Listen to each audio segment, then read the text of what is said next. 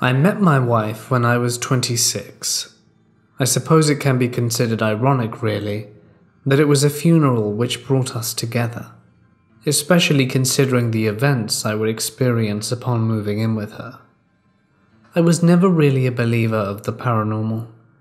I guess if we have to apply labels to ourselves, mine would be of a skeptic. Of course, like most people, I had watched various videos on the internet read stories of hauntings, and occasionally indulged in the odd horror film or two.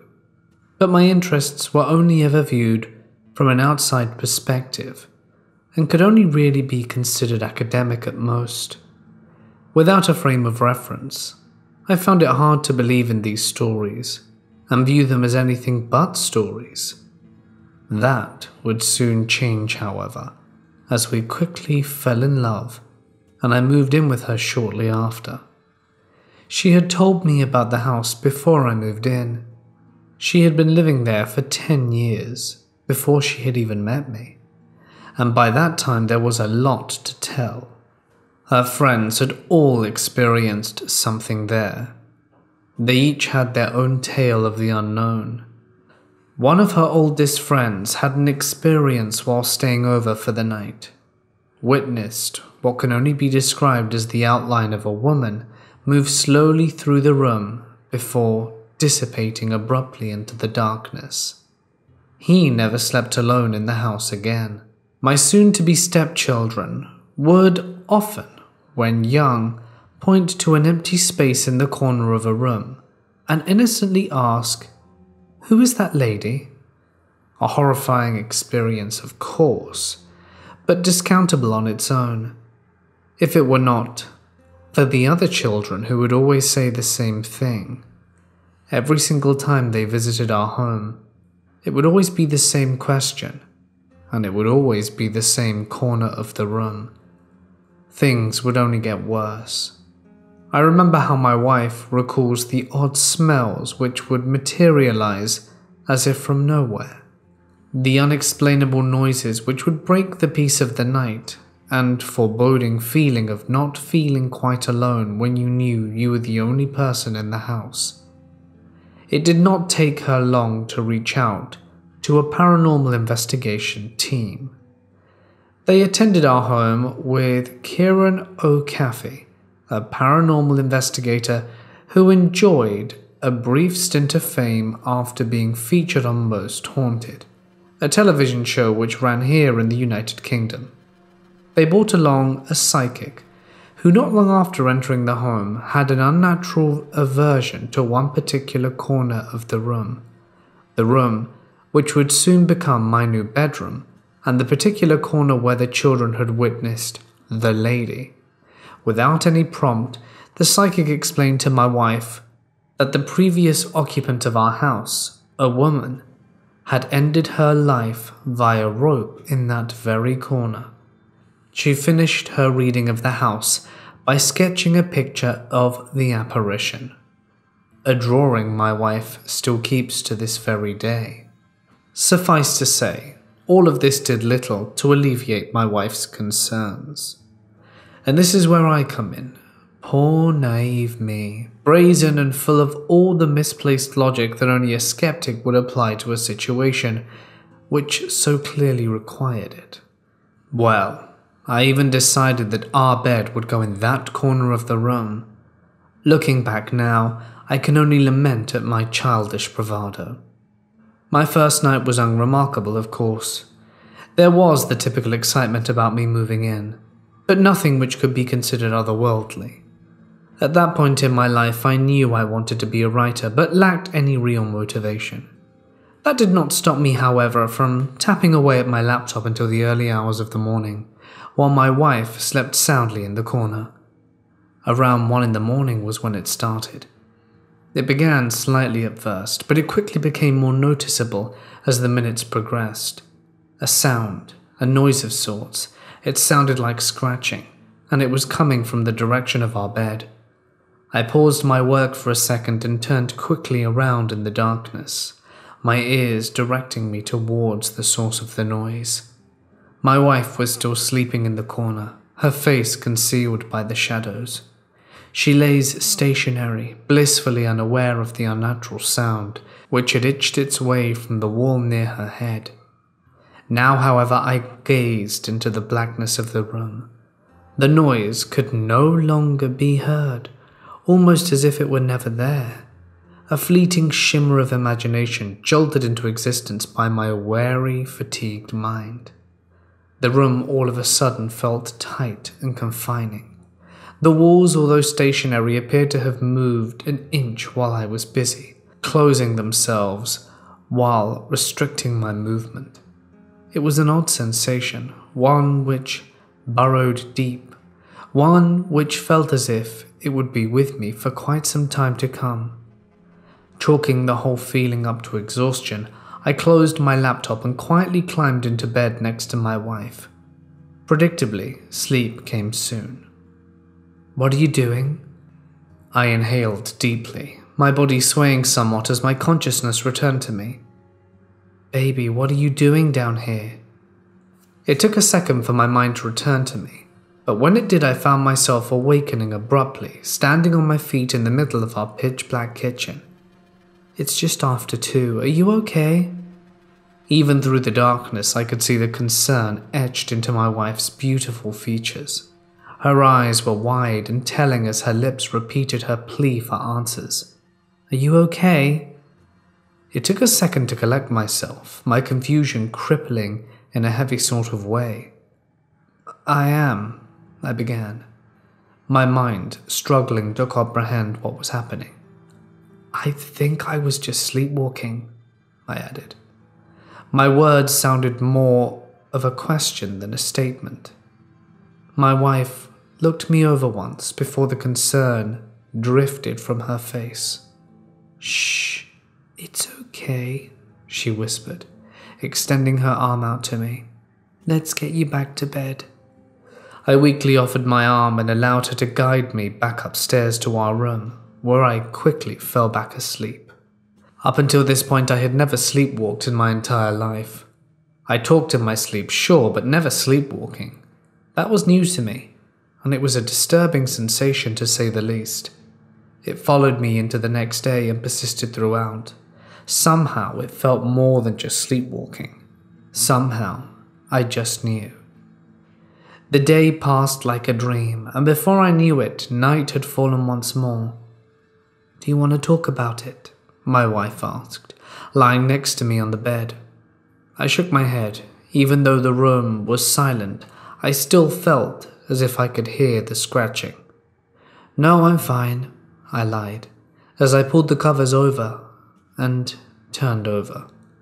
Okay, I love you, baby, she whispered. I love you too. It's dark, and I'm standing in our kitchen. I inhaled deeply and took a second to steady myself, my limbs shaking as the realization of what happened crept slowly through my body. This time, my wife wasn't there to comfort me. This time, every single drawer had been removed from their cabinets and were now perched precariously on the various surfaces above. What is happening? Confused and distressed, I began to quietly slip each drawer up back into the cabinet, which housed them, and then slunk carefully back upstairs to bed. Just before my fragile mind drifted back into the sleep of abyss, I felt as if I could hear it again a scratching, tearing and cutting somewhere deep within the walls. I did not tell my wife of this second transgression. I thought she would only worry. Ironically, this seemed to make matters worse as she quickly picked up on my silence throughout the day as we continued unpacking the rest of my belongings. What's wrong? she asked, sitting next to me on the sofa. I struggled to comprehend an answer. After all, what was wrong? I couldn't even fathom a response, let alone formulate the words required to convey the feeling which lingered deep inside me. My lips moved, and I found myself saying the first thing which came into my mind. I think we should move the bed. She nodded slightly at my words. She knew what I meant by them, even though I never actually had to say it. Okay, we can move it first thing tomorrow. One more night. okay? Because I'm shattered. One more night. I could make it one more night. The hours passed, and again the sky turned black as we drifted peacefully off to sleep. Baby, stop, please, you're scaring me. Suddenly I was aware that I was not in bed.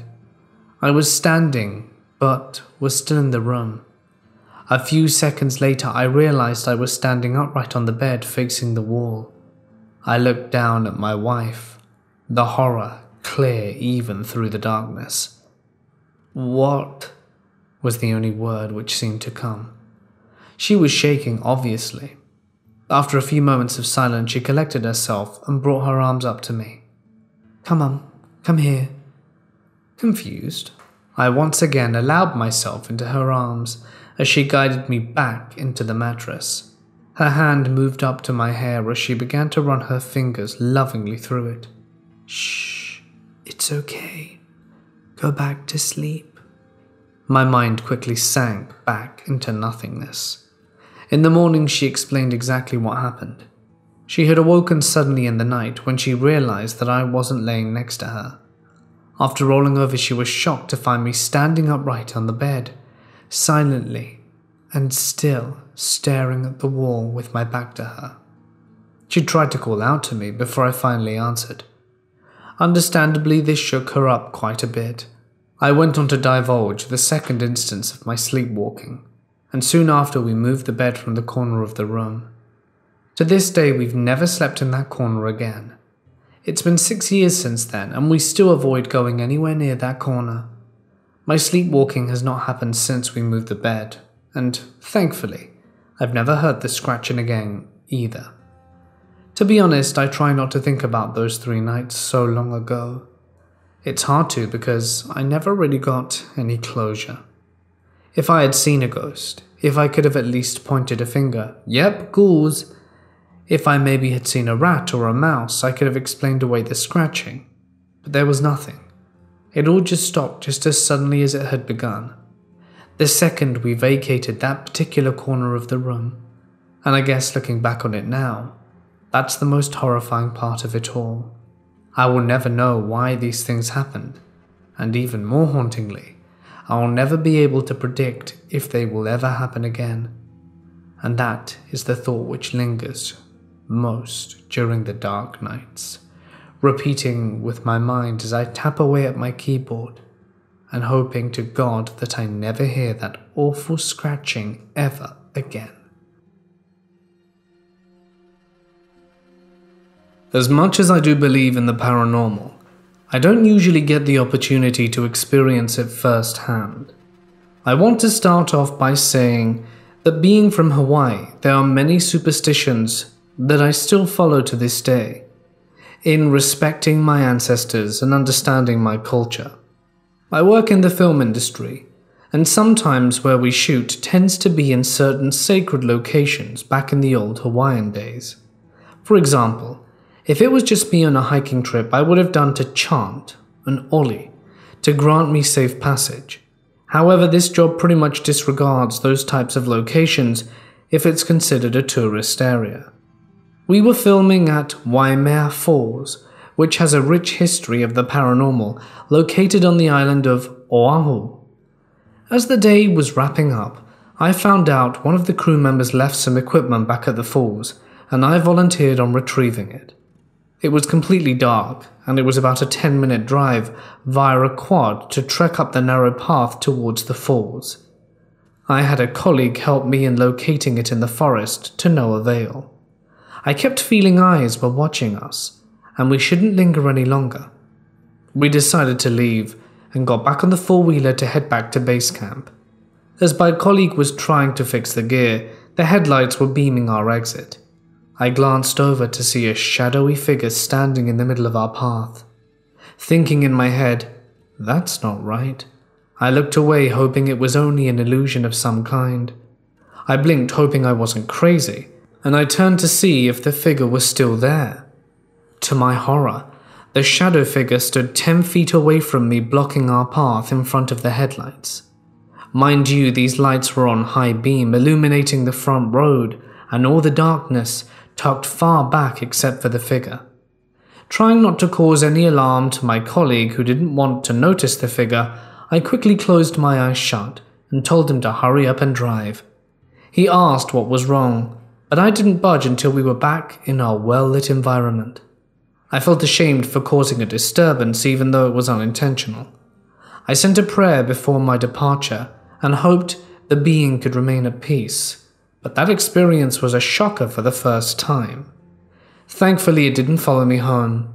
This incident happened last year in 2019. Unfortunately, I don't have any proof for the fact that I was completely chicken under those circumstances.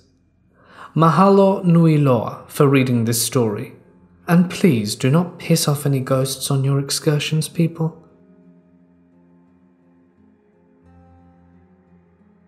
About eight years ago, when I was a senior in high school, me and two of my very close friends decided to break into this house that was down a back road that we passed every day to go to one of their houses after school. The house was kept up, but no one had lived there in over 10 years at the time. And by kept up, I mean the lawn was mown and the lights were always on. It was pretty well known in the community that no one lived there, but the bills were paid by someone and no one had lived there in years. So, being teenagers, we decided to check it out after dark. There was a driveway that led to a covered garage in the back of the property that couldn't be seen from the road. We pulled in just after 11 pm and made our way back to the garage, and we parked. The entrance was clear, and there wasn't a soul around.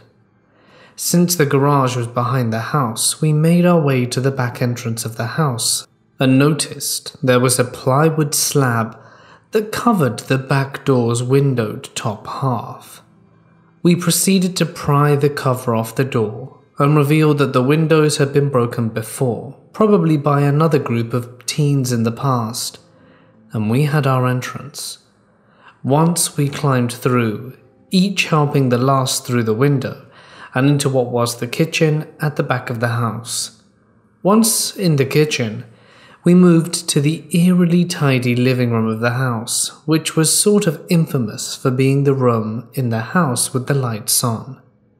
There were magazines all dated to 1998, stacked neatly on the table in the middle of the room, and it was fairly clear that an elderly woman had once been the occupant.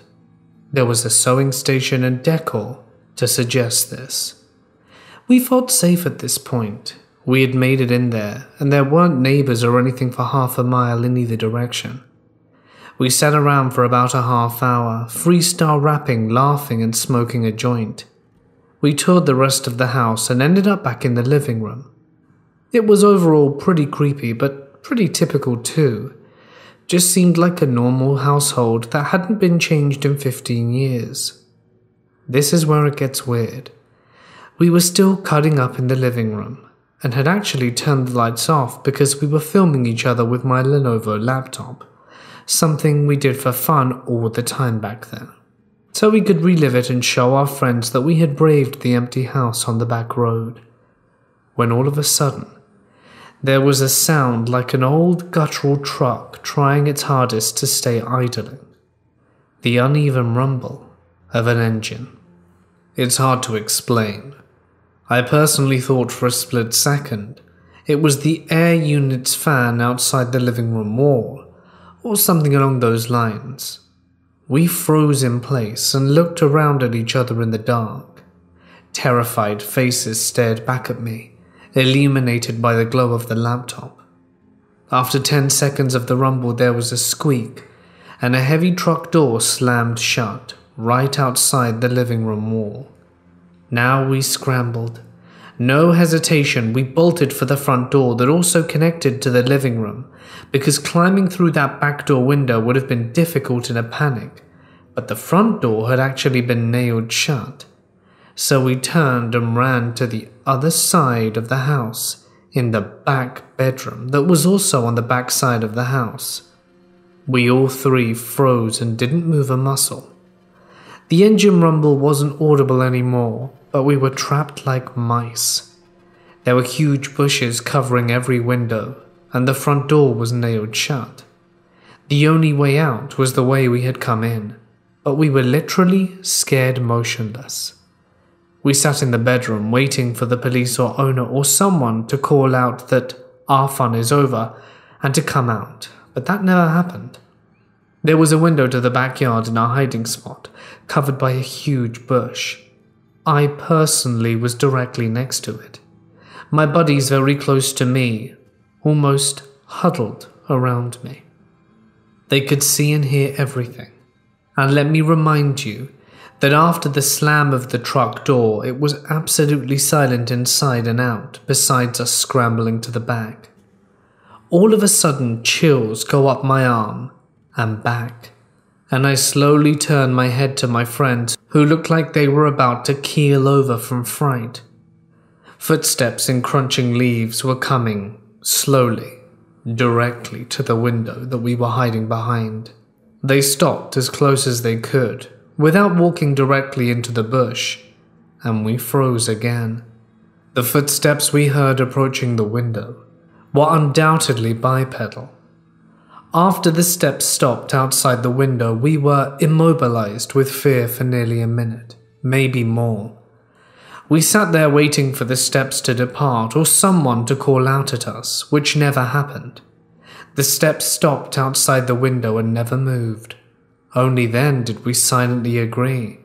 It was time to back out the room slowly, as we were horrified by what exactly could be staring towards us in this window.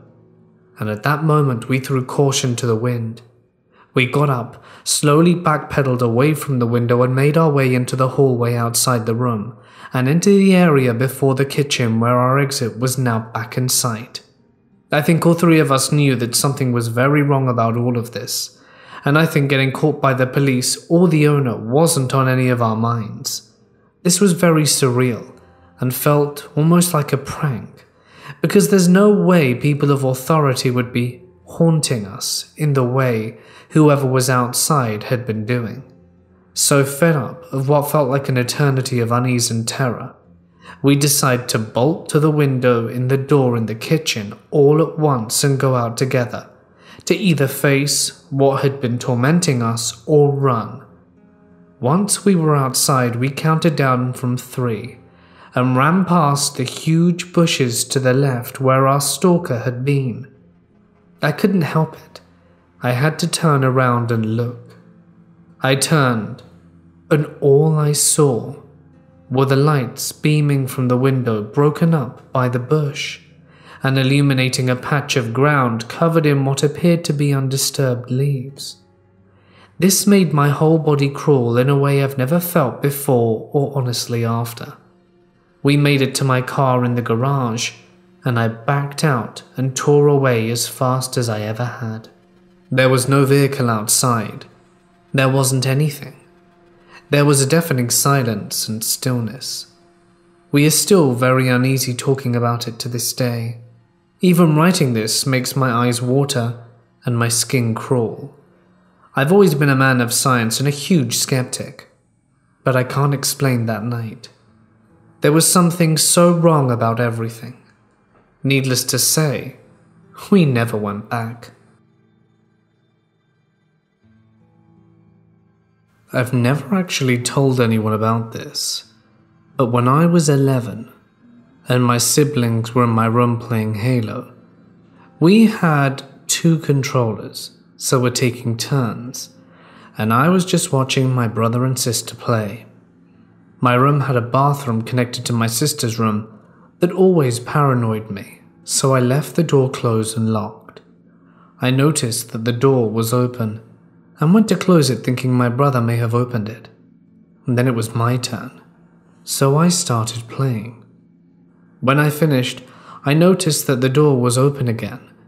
I told my brother very adamantly, Keep this door closed, stop opening it. He and my two other siblings claimed they didn't open it. I closed it again and sat on my bed, staring at it, seeing why it was opening. All of a sudden, the door slams open, and I see some cloudy shadow that looks like a person of about five foot eight move into the bathroom. I didn't say anything and just bolted out of the room into the living room. I refused to go back into the room for about two months and slept on the couch every night. As I said, I never told anyone about this, but I assume my mum sort of knew what had happened. Because about a year ago, my mum was telling me stuff she saw in the house and never mentioned it because she didn't want to scare us. My dad also had a similar experience in that house, like seeing someone lean over him when he woke up at night. That was the only experience I had there. And now I'm a bit of a skeptical on the paranormal and think perhaps it may have been my imagination, or maybe air drafts opening the door, but I guess I'll never know. My husband and I bought a townhouse back in September of 2017, and we've had super weird things happen since. Most of these experiences have happened on our second story. For background, where the stairs come up to my office is immediately to the left. Then there is a long hall to the right with the hallway bathroom. The laundry room just past that is my son's room on the other side, and the master bedroom at the very end of the hall. The access to the attic is in the master bedroom closet. As our family goes, it's me, my husband, our son, and our two large dogs. When we first moved in, our son was barely three years old, and had just started making full sentences. He would be playing all day without any issues, but whenever it started to get dark outside, he began getting nervous and wouldn't want to be in his room. He'd come downstairs at one point saying, Mummy, do you hear it? Hear what, kiddo? The baby's crying, Mummy. My son is an only child, so you can imagine my confusion at this time. I came upstairs with him and asked him where he was hearing it from, thinking he may be hearing the neighbors through the wall. He took my hand and pulled me towards the master bedroom, stopping just a short over the threshold. He pointed to the darkest corner of the room and said, Over there. The baby's crying over there. My body went numb. I tried to brush it off and told him there's no baby there and he's just imagining it. This persisted for about a month before he finally stopped talking about the crying baby. During this time, I had been doing research on our house, and there had been no deaths in that house that I could find, let alone any kids that lived in the house before us. A few weeks after my son stopped mentioning the baby, I started hearing scratching noises above my head in the attic. I told my husband, and he thought we had raccoons or some other animal living in the attic. He went up a few days later, but found nothing. I'm normally a heavy sleeper, but at least twice a week I would wake up to hear a faint scratching noise directly above me. I did my best to try and ignore it and go back to sleep. This seemed to work as we hadn't had an issue for a while up until recently. I have always felt somewhat uneasy on the second floor, but I just attributed it to my past paranormal experiences growing up and being a little paranoid. Now, I'm thinking my senses were on point. A few months ago, my husband and I were talking about how our son had this weird affinity for the crying baby when he was younger, and I had mentioned that one day when I was taking a nap, I woke up abruptly being sideways on the bed with one leg hanging off towards the closet, almost like I was being dragged towards it. However, I don't remember being pulled at all. All I do is flop around a lot in my sleep, so I brushed it off. After I told my husband about this, he frowned a little bit and said he had a weird experience too recently. Apparently, he woke up one morning around 2:30 a.m and saw a figure standing by his side of the bed. He said it was all black, and he couldn't really make out a face or any distinct features. He went to kick the figure, thinking maybe someone had broken into the house, and his foot went right through it. This freaked him out a little bit, but he's a firm believer that if you don't acknowledge paranormal things, they can't do anything. So, of course, he rolls over and goes to sleep and doesn't even think to mention it to me until I told him about my own experience. The whole time we've been here, the dogs will randomly get spooked or will stare at something that I don't see. Every once in a while, our wolf hybrid, who's typically scared of his own shadow, will get very upset, and his hair will stand on end, and he will emit a low but vicious growl. Our other dog is a Malinois slash Black Lab mix, but she's getting old and is 10 years old now and doesn't really do much other than sleep on her bed and try to get all the pets and treats from us. And this brings us to the present. Yesterday there was a decent storm that came through our area. It was semi dark out, and thunder every once in a while. I'm working from home during the virus pandemic, and my mum had come to pick up my son around 11:30 so that I could work in peace without my son continually bothering me. A few hours later, I'm listening to a podcast while working, and I hear a faint mumble that almost sounded like, Mummy? The chilling thing is that it sounded exactly like my son.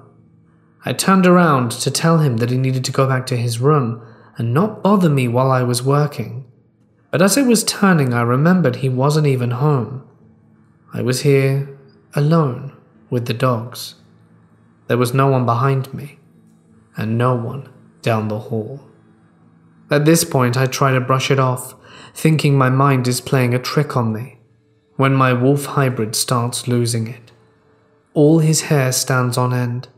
He gets between me and the door and starts doing this low growl. This freaked me out a little bit, but I told him to stop, which he listened to, and laid back down but without taking his eyes off the hallway. About an hour later, I was in the zone with work and was talking to a co-worker on our team chat. They sent me something funny enough to make me audibly laugh.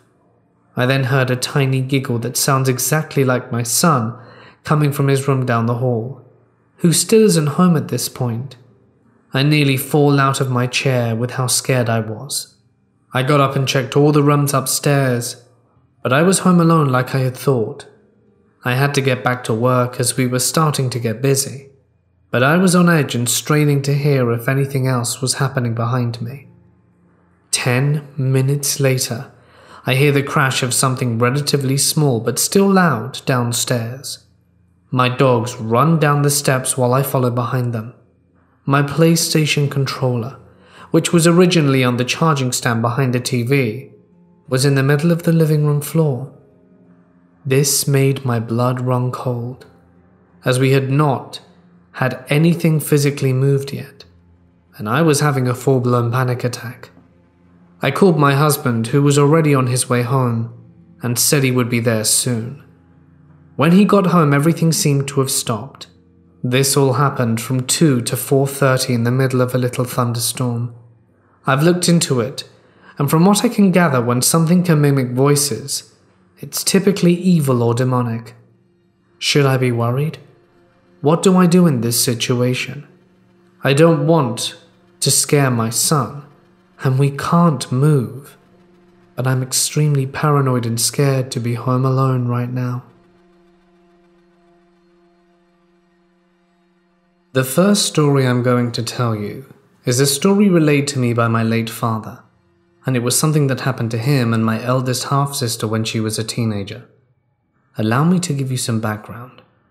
My half sister Giselle had always been able to see ghosts since she was a child, and being able to do so has made her feel like she was cursed, especially since the entity she sees always appears solid and showed up unexpectedly during the most unexpected of times.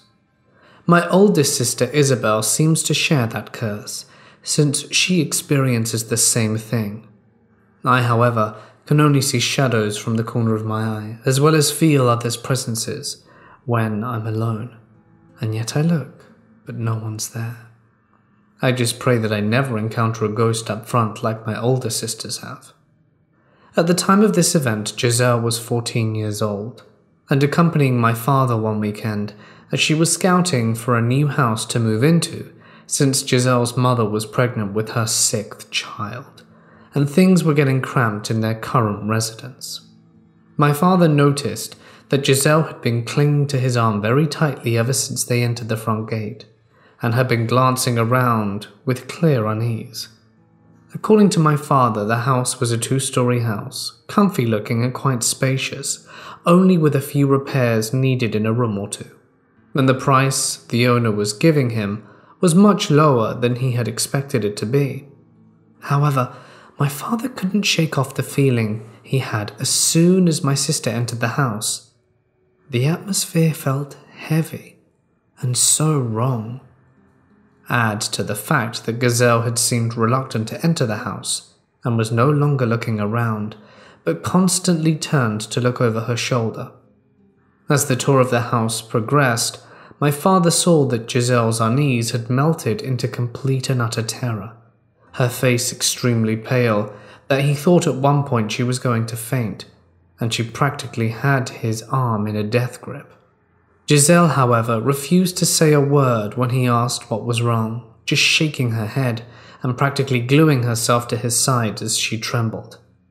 My father knew just by the terrified look on Giselle's face that buying that house would be a mistake.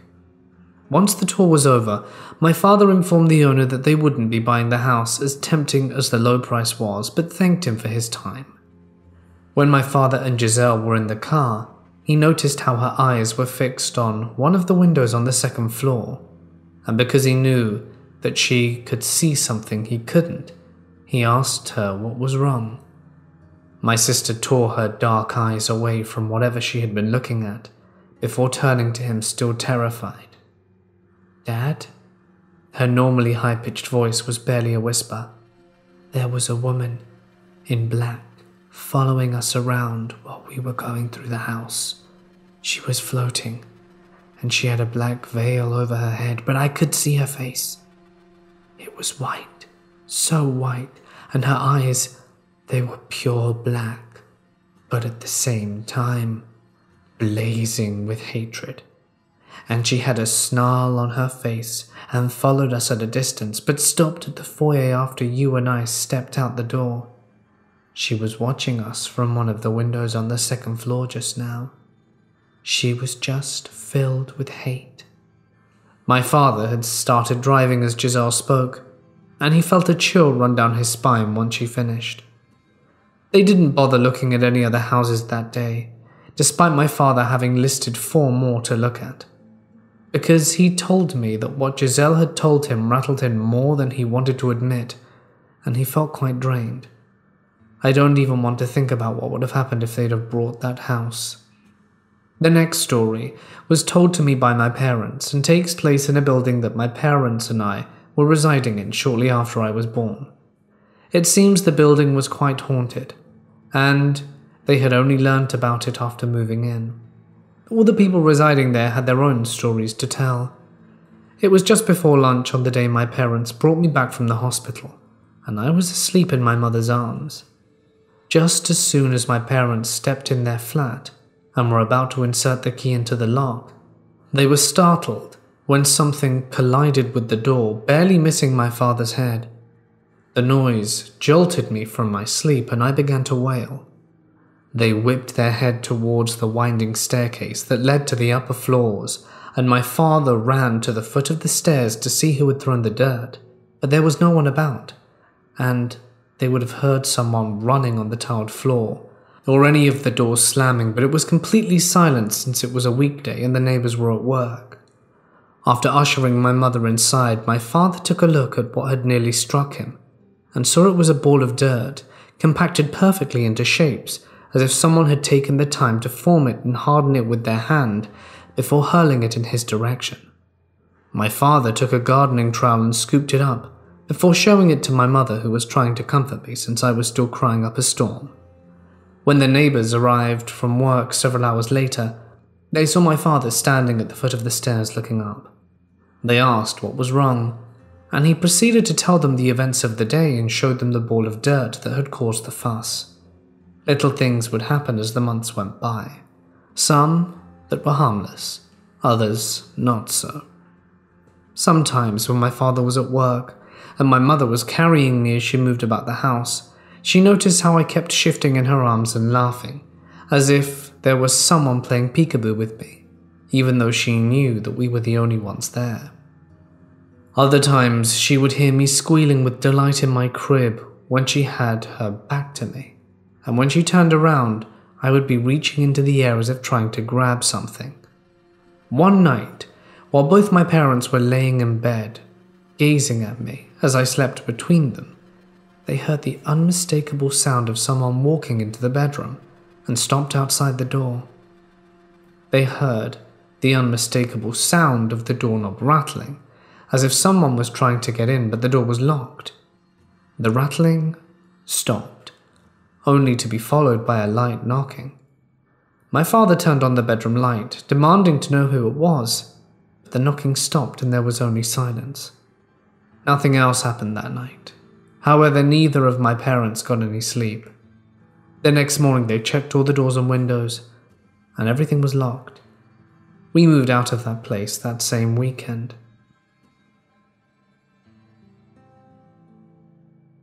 I've never seen shadow people from my peripheral vision. They're always a few feet away from me, but right in front of my field of vision. I've only ever seen them at night when my room is quite dark. Generally, something rouses me in my sleep. I'll open my eyes, and there it is a dark, humanoid figure, which I always initially assume is a family member out of bed and trying to awake me for some reason. I'll then ask them what they're doing or why they awoke me. But when they say nothing and remain still, I'll grow annoyed and continue repeating my questions until they just gradually dissolve before my very eyes. This is the moment where the fear sinks in, and I realize this clearly wasn't the family member I thought I was just aggressively speaking to. My point here is that these dark humanoid figures are already present, so I don't see how they materialize in the first place. As I lay beneath my covers, I kept my eyes on the corner of my room at the foot of my bed. As I stared into the patch of darkness and shadow where the two walls met, I felt like my eyes were playing tricks on me, because it looked as if the shadow was undulating. I kept my eyes fixed to the space, and slowly but surely the shadow grew larger and morphed into this big, dark, round humanoid figure. I say rounded because it was kind of like a featureless, heavy-set Santa body made out of super dark shadow. I'd never seen anything like this before. He was wearing a hat. He had a kind of large sombrero and just stood there motionless once manifested and seemed to be made completely from shadow, as though the thing just pulls in and sucks in a patch of deep shadow from a space in the room and uses that to form his space. It was a really trippy experience, and I was a kid and quite scared and remained stock still, staring in shock for at least 20 seconds, trying to gain the courage to scream out to my parents in the next room. I still remember counting to three in my head before I finally had the guts to scream, Mom. I closed my eyes while screaming. So this time I wasn't able to watch the thing depart or dissolve. My parents took mere seconds to enter my room, and once they were there, my eyes opened, and I looked straight back into the corner and the thing was gone. I never saw one like that again. The others are always quite skinny.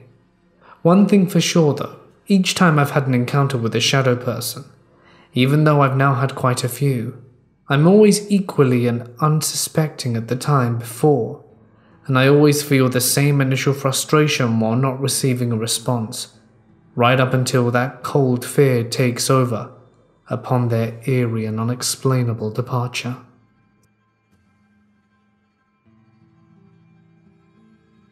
I had been experiencing many strange sounds and feelings last year. My cousin had a party at my house, and without my knowledge, had brought a Ouija board and played it Keep in mind that my room is in the basement, and every sound in the house can be heard from there. Most of the time, I can tell exactly what it is. It was just me, my mum, and sister, and two dogs in the house. I'd been hearing loud footsteps all around the house, mostly when it was just me home, and they were heavy, like a man's footsteps. Too heavy to be my mum or my sister, and I began to smell this rancid smell floating around the house. I'll be downstairs cleaning the basement, and it'll pass by me so suddenly, I had actually thought I made it up. Then I'd be anywhere else in the house, and I'll just settle for a few minutes, and it'll pass by once again. This strange occurrence happened for several weeks. Then it progressed to random objects flying off the shelves at one point, and a cup almost hit me as I was walking past my bookshelf. Two months after the first incident, I started seeing a dark, shadowy silhouette in the basement just across from my room. Now, I'm not one that scares easily, but after so many weeks of these incidents, I had increasingly become more and more paranoid, and so seeing it for the first time, I was so scared. I couldn't shut my door fast enough. It was like that every night, seeing it in the same spot.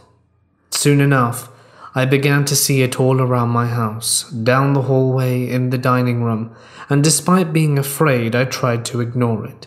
Because if I didn't feed into what it wanted, it couldn't hurt me, or so I thought. About two to three weeks after seeing it for the first time, I had woken up with a scabbing and scratching sensation down my back, slight bruising as well. That was the only case of there ever being anything physical. Sometime after that, I had a dream involving the entity. In the dream, I was standing on the dock, watching the water, when I noticed a child standing at the end of it. The little boy fell in, and I had run to him, jumping in the water after him. But all I saw was the child being dragged under. Only its eyes were dark and hollow. It was like big pools of dark ink. Then, as I'm trying to grab for him, I had this feeling of dread. Then I'm grabbed and faced with the same entity. Only this time I can actually see its face, pale and white, with the same black eyes like empty sockets, its face stuck in this silent scream. As I woke up, I had sleep paralysis and started going through some of the steps I have to do to get out of it. After that, the incident slowly died away until finally I had a friend of mine cleanse the house and do a blessing. Ever since then, I haven't had any more occurrences. I'm just not sure how to make sense of all of this. My sister, age 12, recently came to me and described feeling uncomfortable in certain areas of the house and said she'd been seeing the same dark silhouette of the same woman that I used to see. She also has been having nightmares of this entity watching her sleep and following her around. I still have not had any more experiences. I was wondering what anyone thought about why she's suddenly being affected after so long. Twenty years ago, I was sleeping beside my husband and I woke up. As I was turning over, I look over at my husband's shoulder and saw a woman standing in the bedroom doorway staring at my husband intently with curiosity. She then began moving towards him. She had no idea I was watching her. When she began walking towards him, I got angry, and I was going to launch myself over him and tackle her, but she was too far away. I was concerned I would wake my husband, and he would get up suddenly, causing me to hurt him. Instead, I turned over, got out of bed, and went around. But by the time I got to the end of the bed, she was gone. This was no common intruder. She was approximately five feet tall, very slim, but with a definite female figure, around a hundred pounds. She was not clothed, but looked like a solid silhouette, or as if head to toe in a skin tight black bodysuit. She did not have hair on her silhouette.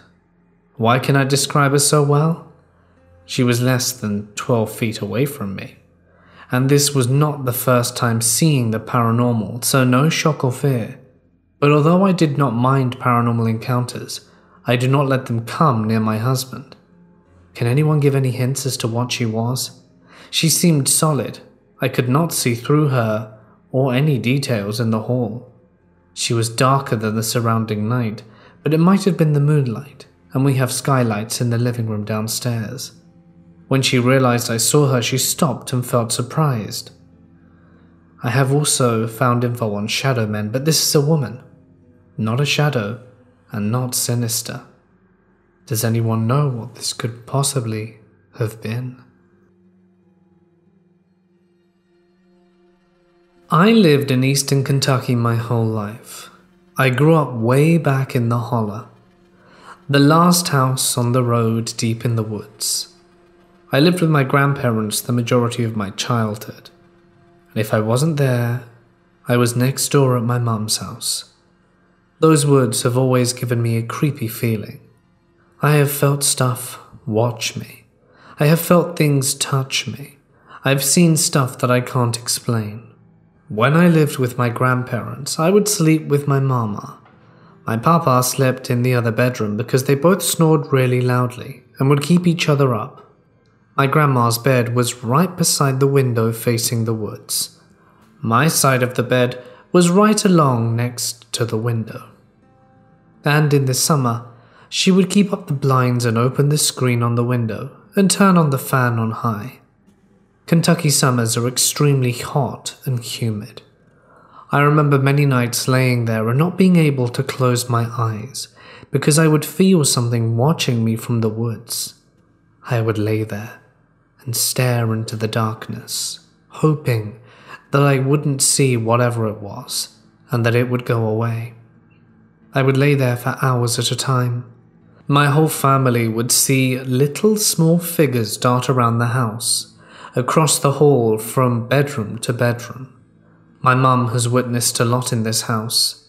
One morning, my grandpa had taken my mama to work. She would go in at around 6:30 a.m.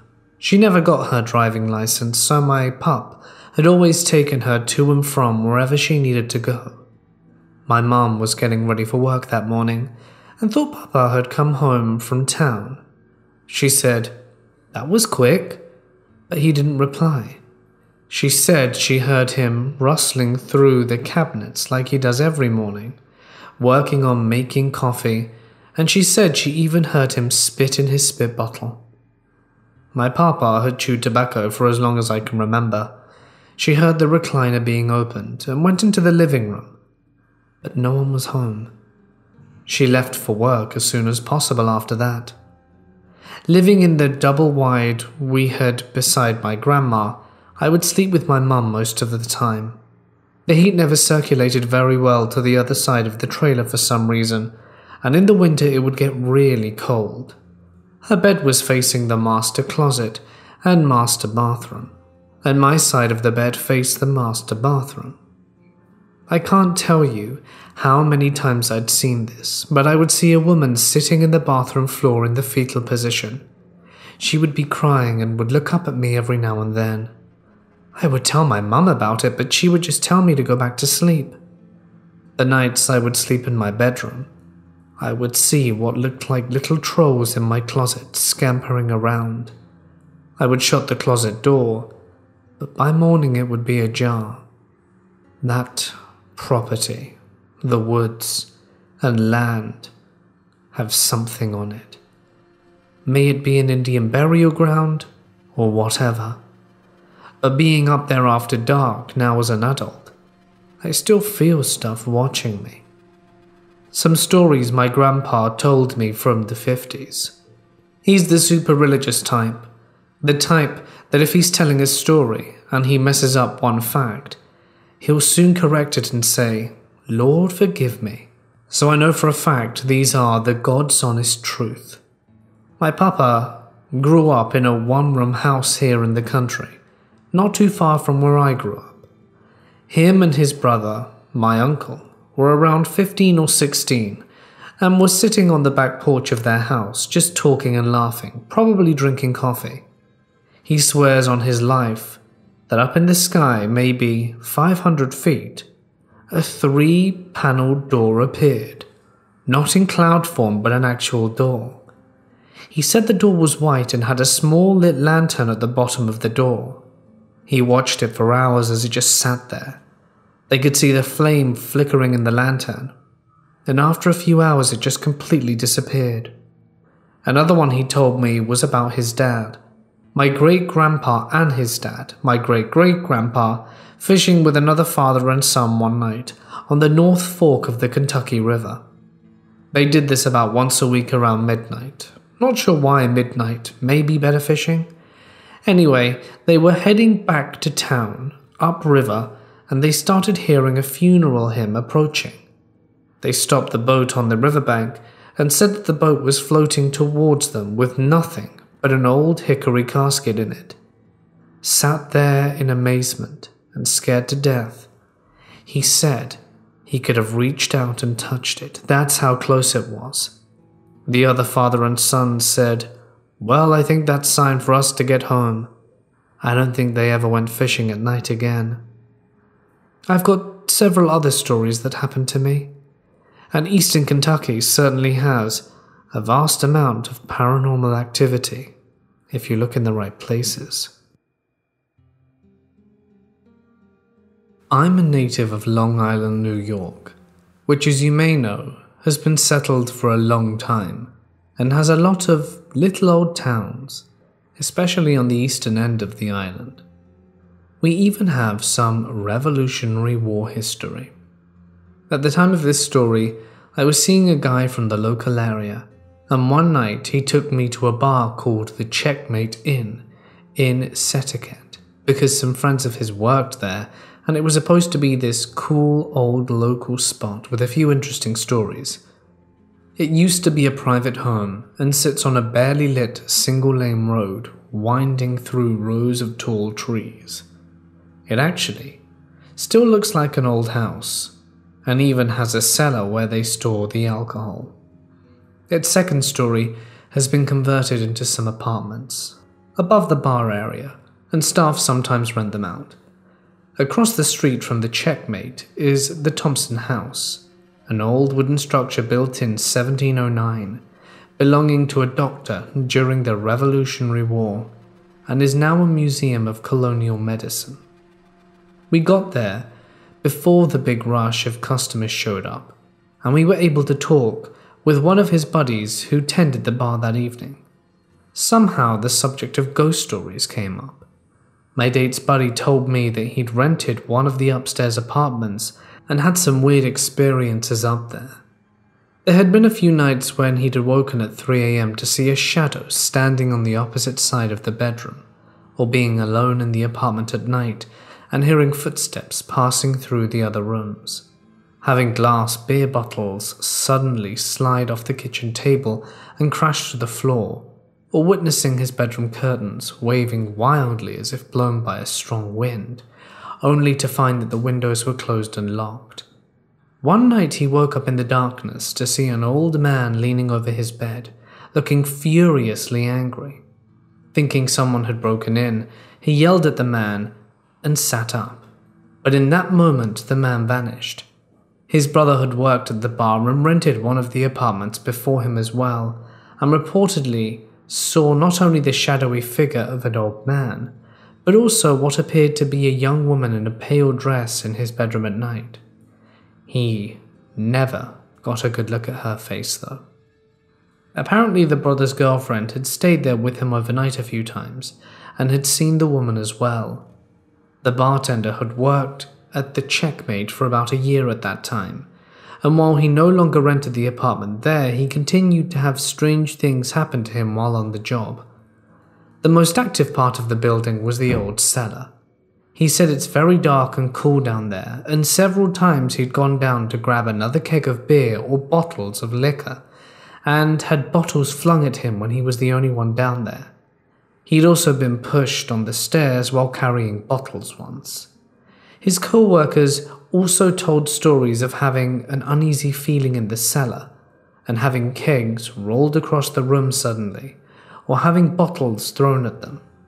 When they went to confront whoever was on shift with them at the time, they were always in another part of the building and denied playing jokes.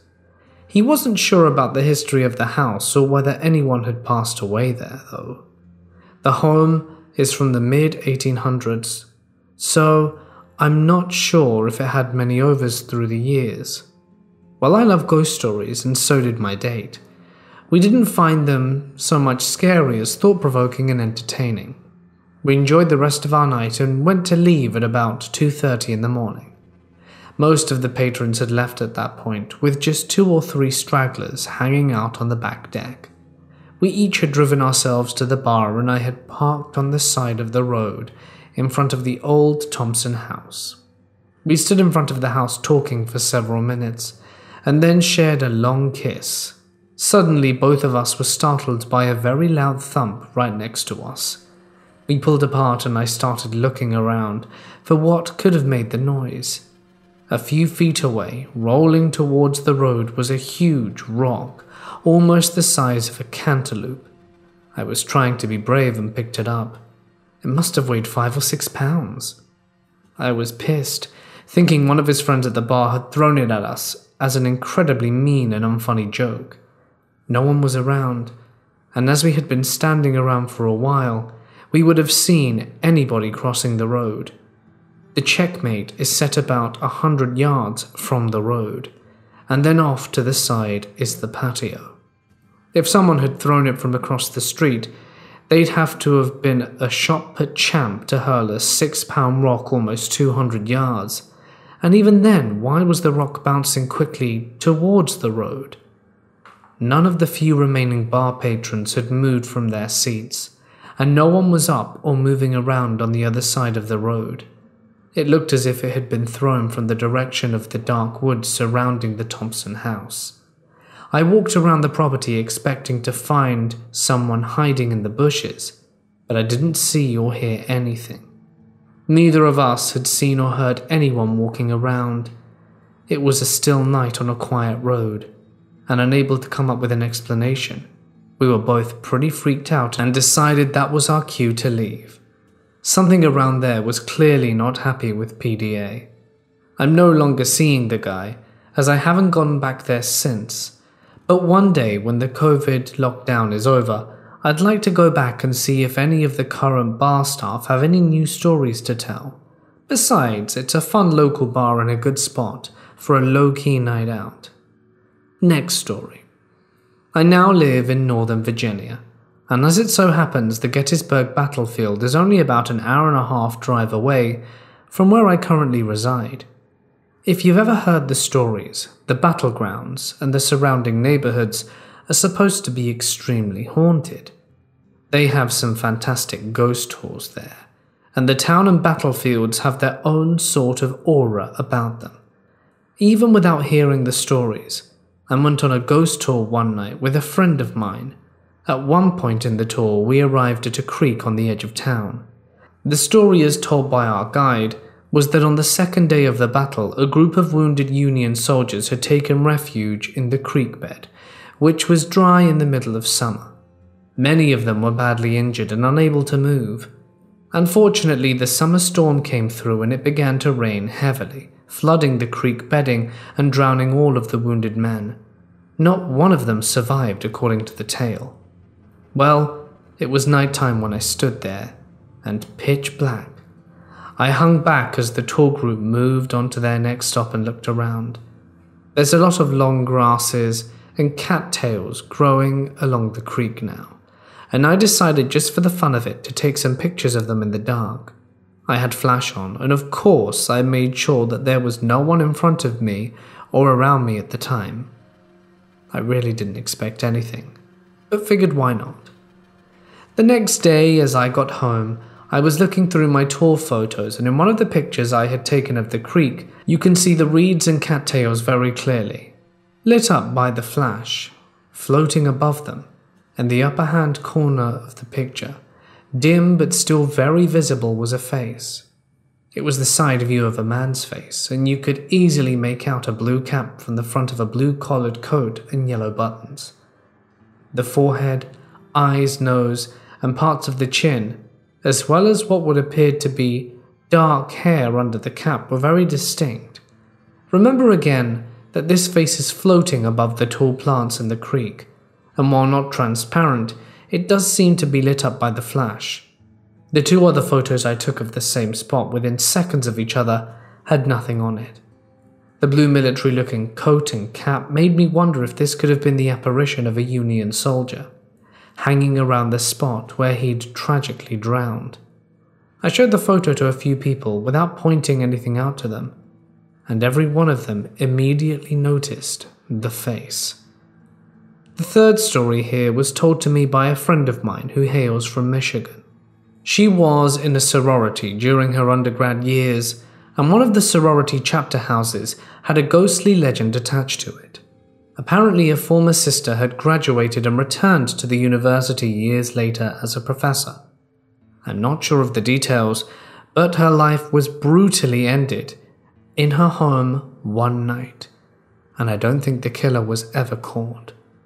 Since then, the sorority house, where she had spent so much of her time of her life in, has been the site of disembodied footsteps, doors opening and closing, lamps turning on and off by themselves, and generally only when one of the sisters was alone in the house at night.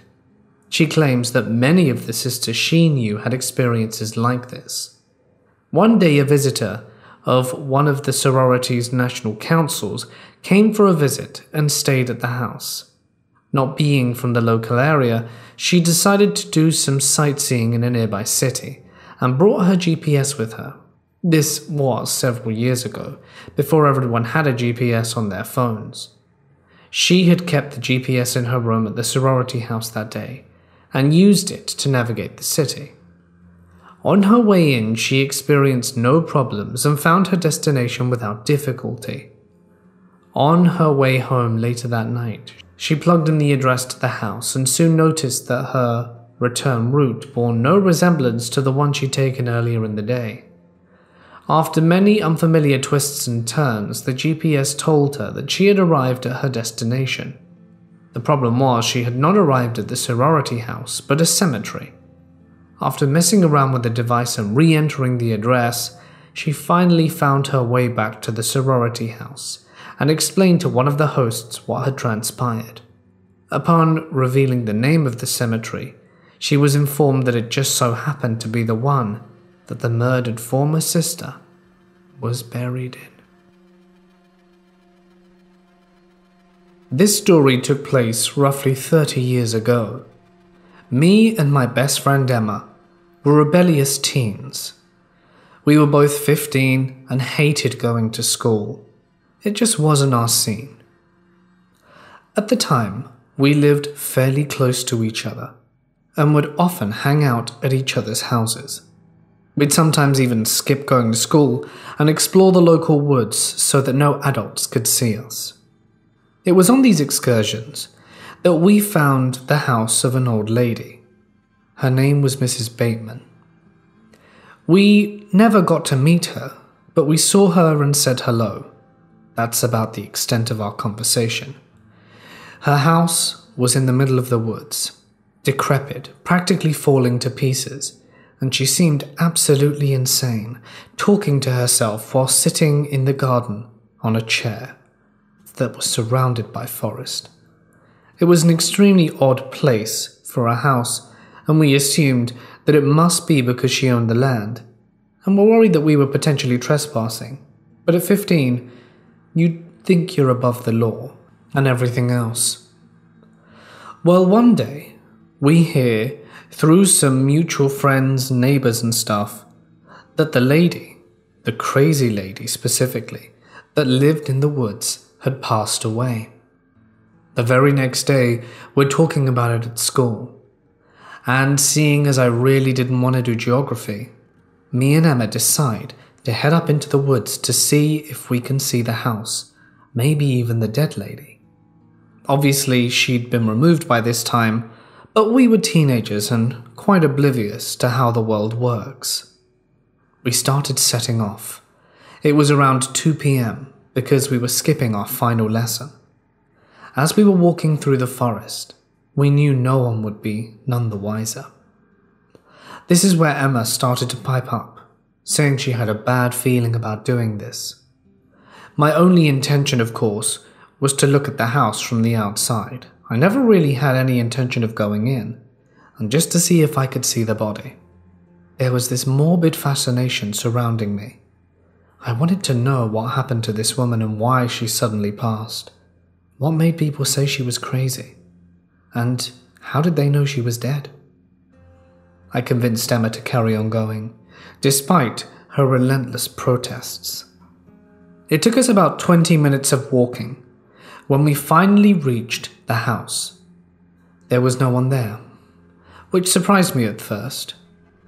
As we approached the door, we looked through the windows, cautiously, scared that she might jump out at any moment despite people saying that she'd passed. There was no one in sight. That's when I got the guts to try the door. I slowly lowered my hand to the handle and started pulling down. At that very moment, it opened and I had a satisfying grin cover my face. Emma was scared. She dared not venture into someone's house without permission, but I. I did. I told her that we'd be quick. We'd just be exploring. No one was home. And the lady had passed away anyway. As far as we knew, she didn't have anyone to leave the house to or anything. So we were doing everyone a public service by seeing if there was anything worth taking. I know, I know, it was pretty crappy of me. Spoilers, I never actually took anything. In truth, I was just trying to entice Emma to go in. But that's neither here nor there. Anyway, continuing with the story. She followed me in because I wasn't going to stay outside, and looking up at the sky, it looked like it was going to rain. So, I guess all of the reasons meant that she was going to come in. The house, as I mentioned before, wasn't in a very good state. She was a hoarder. There were newspapers piled up all around the place. The electricity was still working, but it was a dingy little place. We looked around the kitchen, and it smelled disgusting. Clearly, she hadn't washed dishes in a long time. There was food waste accumulated on plates and stuff that was going mouldy. She'd only been dead a few days, I thought. How could all of this have accumulated so quickly? In any case, we carried on looking around. The house didn't have a very welcoming atmosphere, but I just assumed I felt uncomfortable being on someone else's property when deep down I knew I really shouldn't be. We went up the stairs. The rooms were bare and barren, except her room, which had a whole host of trinkets on the little sideboard and table. Then we saw the last door at the end of the upstairs hallway. We tried to open it, but there was a small catch above us that appeared to have a lock. At that moment, Emma recalled that there was a tiny key which seemed to fit the lock over on the dresser in the other room. She went over, fetched it, and like a charm, it worked. We opened the door and were instantly hit with a wave of cold. We wondered if this was because this part of the house was in disrepair. But regardless, we took up the wooded stairs and started making our ascent. It's important to note that her house was carpeted, but these stairs were wooden, which gave it an extra creepy feel. There was no light switch as we were going up, so we were going up in full darkness nearly. By the time we reached the top, we tried using our hands to see if we could find any form of switch when finally we found one, an old fashioned one. We flipped it and we were greeted by the darkness of the loft. There wasn't really much about. A few picture frames covered by a sheet, an old chair, nothing really of interest nor value. It was interesting to be up here. Having been in lofts before, I knew that you had to be careful, as there were lots of beams and wooden planks, and stepping in the wrong place could mean you fall through the ceiling, as it's not that stable. After we had a good look around, we were just about to leave when my friend Emma shrieked and ran downstairs. I asked her what was wrong, but she didn't reply. I looked around to the loft room and didn't see anything. And just as I was about to flip the switch and make my way down, did I look directly into one of the corners of the house, near an area I hadn't really been paying attention to. There was a figure, a shadow. It almost looked like a man, just standing in the corner, slightly crouched. All I could make out was the shape, no features. I stared at it. I blinked, and it was still there.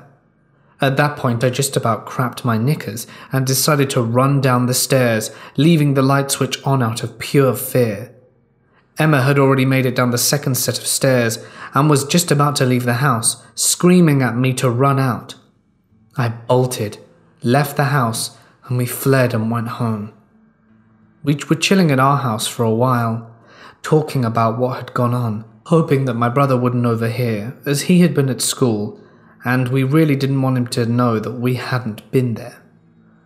After saying in whispers how freaked out we were, we both asked each other what we'd seen, and when we concurred it was the same Shadow Man, did our excitement fade to fear.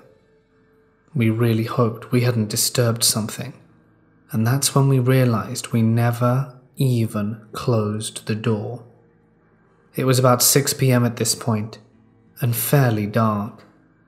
The forest and house weren't too far, but we really didn't want to go back. A part of me was worried someone may have seen us leaving that house, or that we might get in trouble.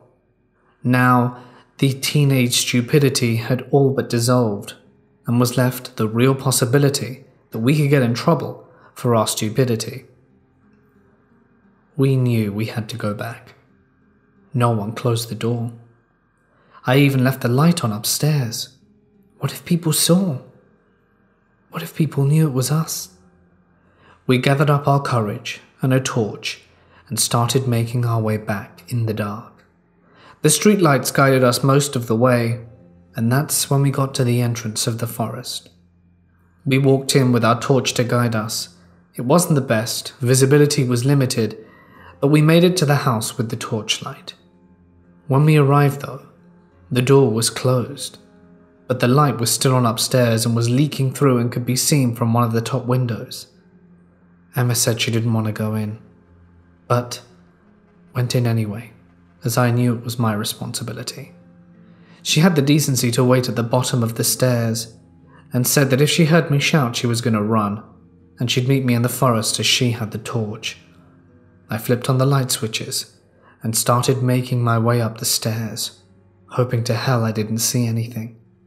My eyes were darting around the house, absolutely terrified, scared that at any moment this shadow man would appear out of nowhere and do who knows what to me. Every step was painful, and when I made it to the upstairs landing, I took a sigh of relief as there was nothing. That's when I saw the door. The door was closed. The upstairs door, I mean, the one that would take us to the loft. I had most certainly left it open, but perhaps in my haste, it had bounced back or something. Although it was open the whole time, I tried not to think about it. And I didn't want to make any noise, so I took off my shoes and started slowly creeping up the stairs. However, one of the wooden steps betrayed me, and it made a loud creak. I just about had a panic attack there and then, hoping that the entity wouldn't hear me. I was going up step by step. I could see the light switch. I was just about to flick it and then I did. A wave of relief washed over me as I crept down a little louder now, content that I had done what I needed to do. I slipped on my shoes and started making my way downstairs. But when I got to the bottom, Emma was no longer there. Oh no, I thought. Where did she go? The door was closed and I never heard it open. Me being as quiet as possible, I doubt she would have left. So instead of opening the door, I looked out of the little square window in the door, but there was no light around.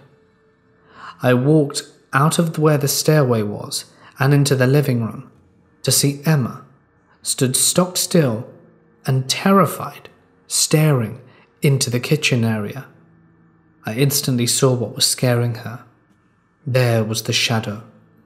It was now a lot more pronounced than before.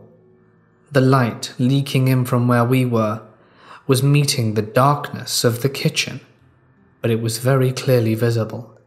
It was radiating a dark and fearful aura. Maybe this is why the old woman went insane, I thought. And with that, I grabbed her hand, closed the door on our way out, and ran like I've never ran before. I don't think in all my life I've run any faster. This was Usain Bolt proud speed. We made it back to my house, sweating, panting, crying, and hugging at the end. We were so relieved and vowed not to get up to any mischief again regarding people's property we shouldn't be in in the first place. That's our story. We never saw the Shadow Man again or even approached that house.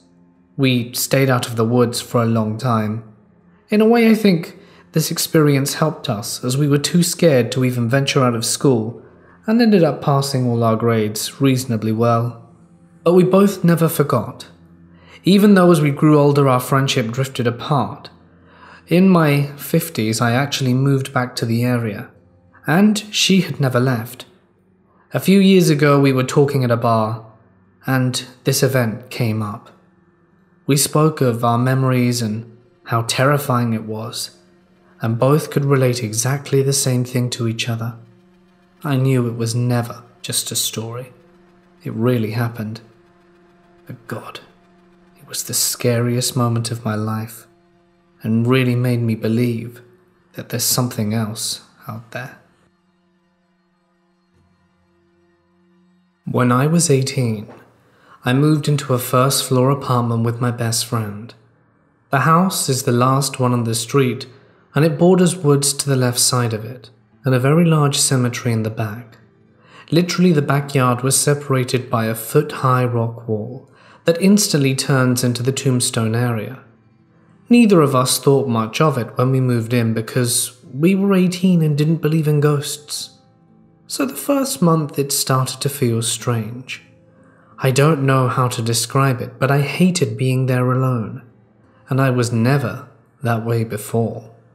I always felt that need to turn around and see if something was following me. Then, strange things would happen. Tiny things turned up missing and would reappear in odd places.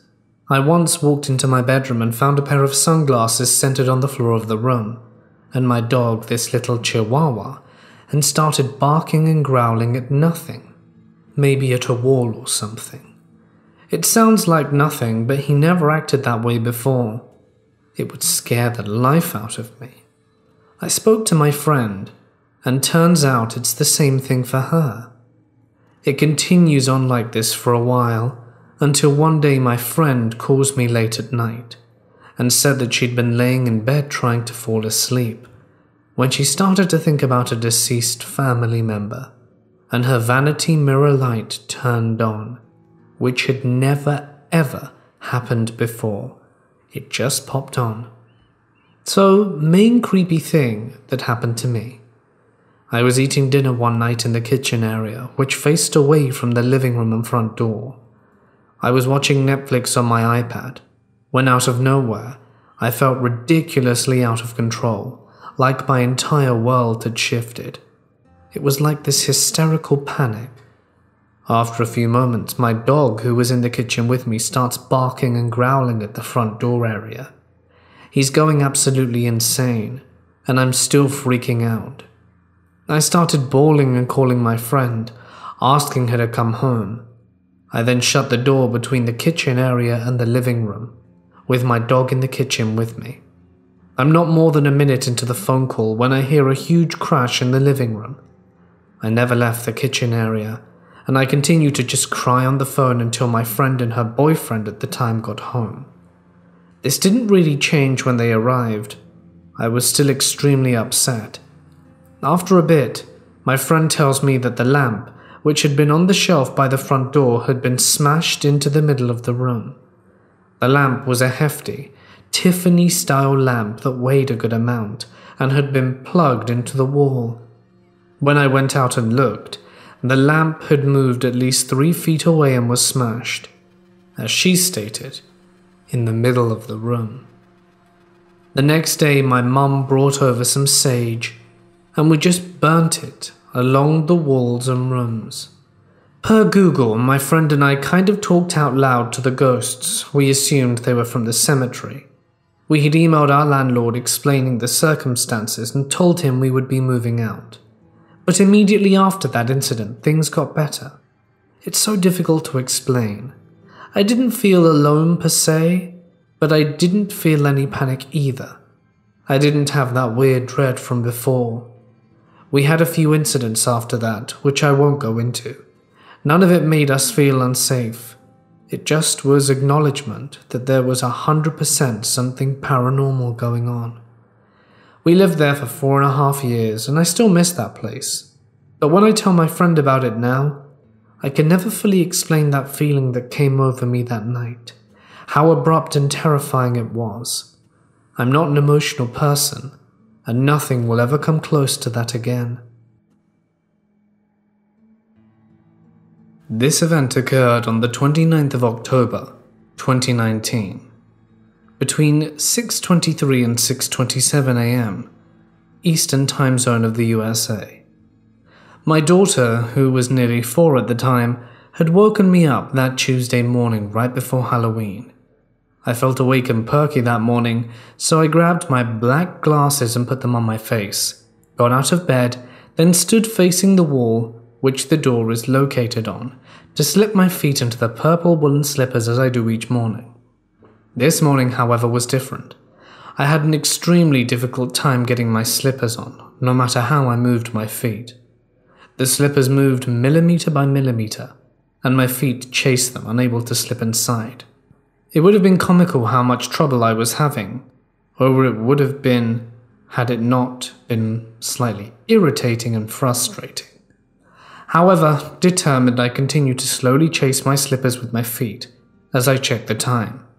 The clock was by the door, and it illuminated that it was 6:24 a.m. Meanwhile, I watched my daughter bound towards the door, and despite my protests, she threw it open. Peering out into the dark hallway, I noticed something pure black, much darker than anything else, and began processing what this could possibly be. My dad had placed several items, a small bookcase and a lamp, as well as other stuff, outside the bedroom door on the wall opposite my bedroom door and the bathroom door to the left of my room so I assumed the blackness was some sort of office equipment. Yet I continued staring, and an uncomfortable feeling began rising in my chest and stomach as I made out the shape of a nose on a head, and I was viewing this at an angle rather than head on. My slippers were still not cooperating either, as I had the sudden thought, oh God, is that a shadow person?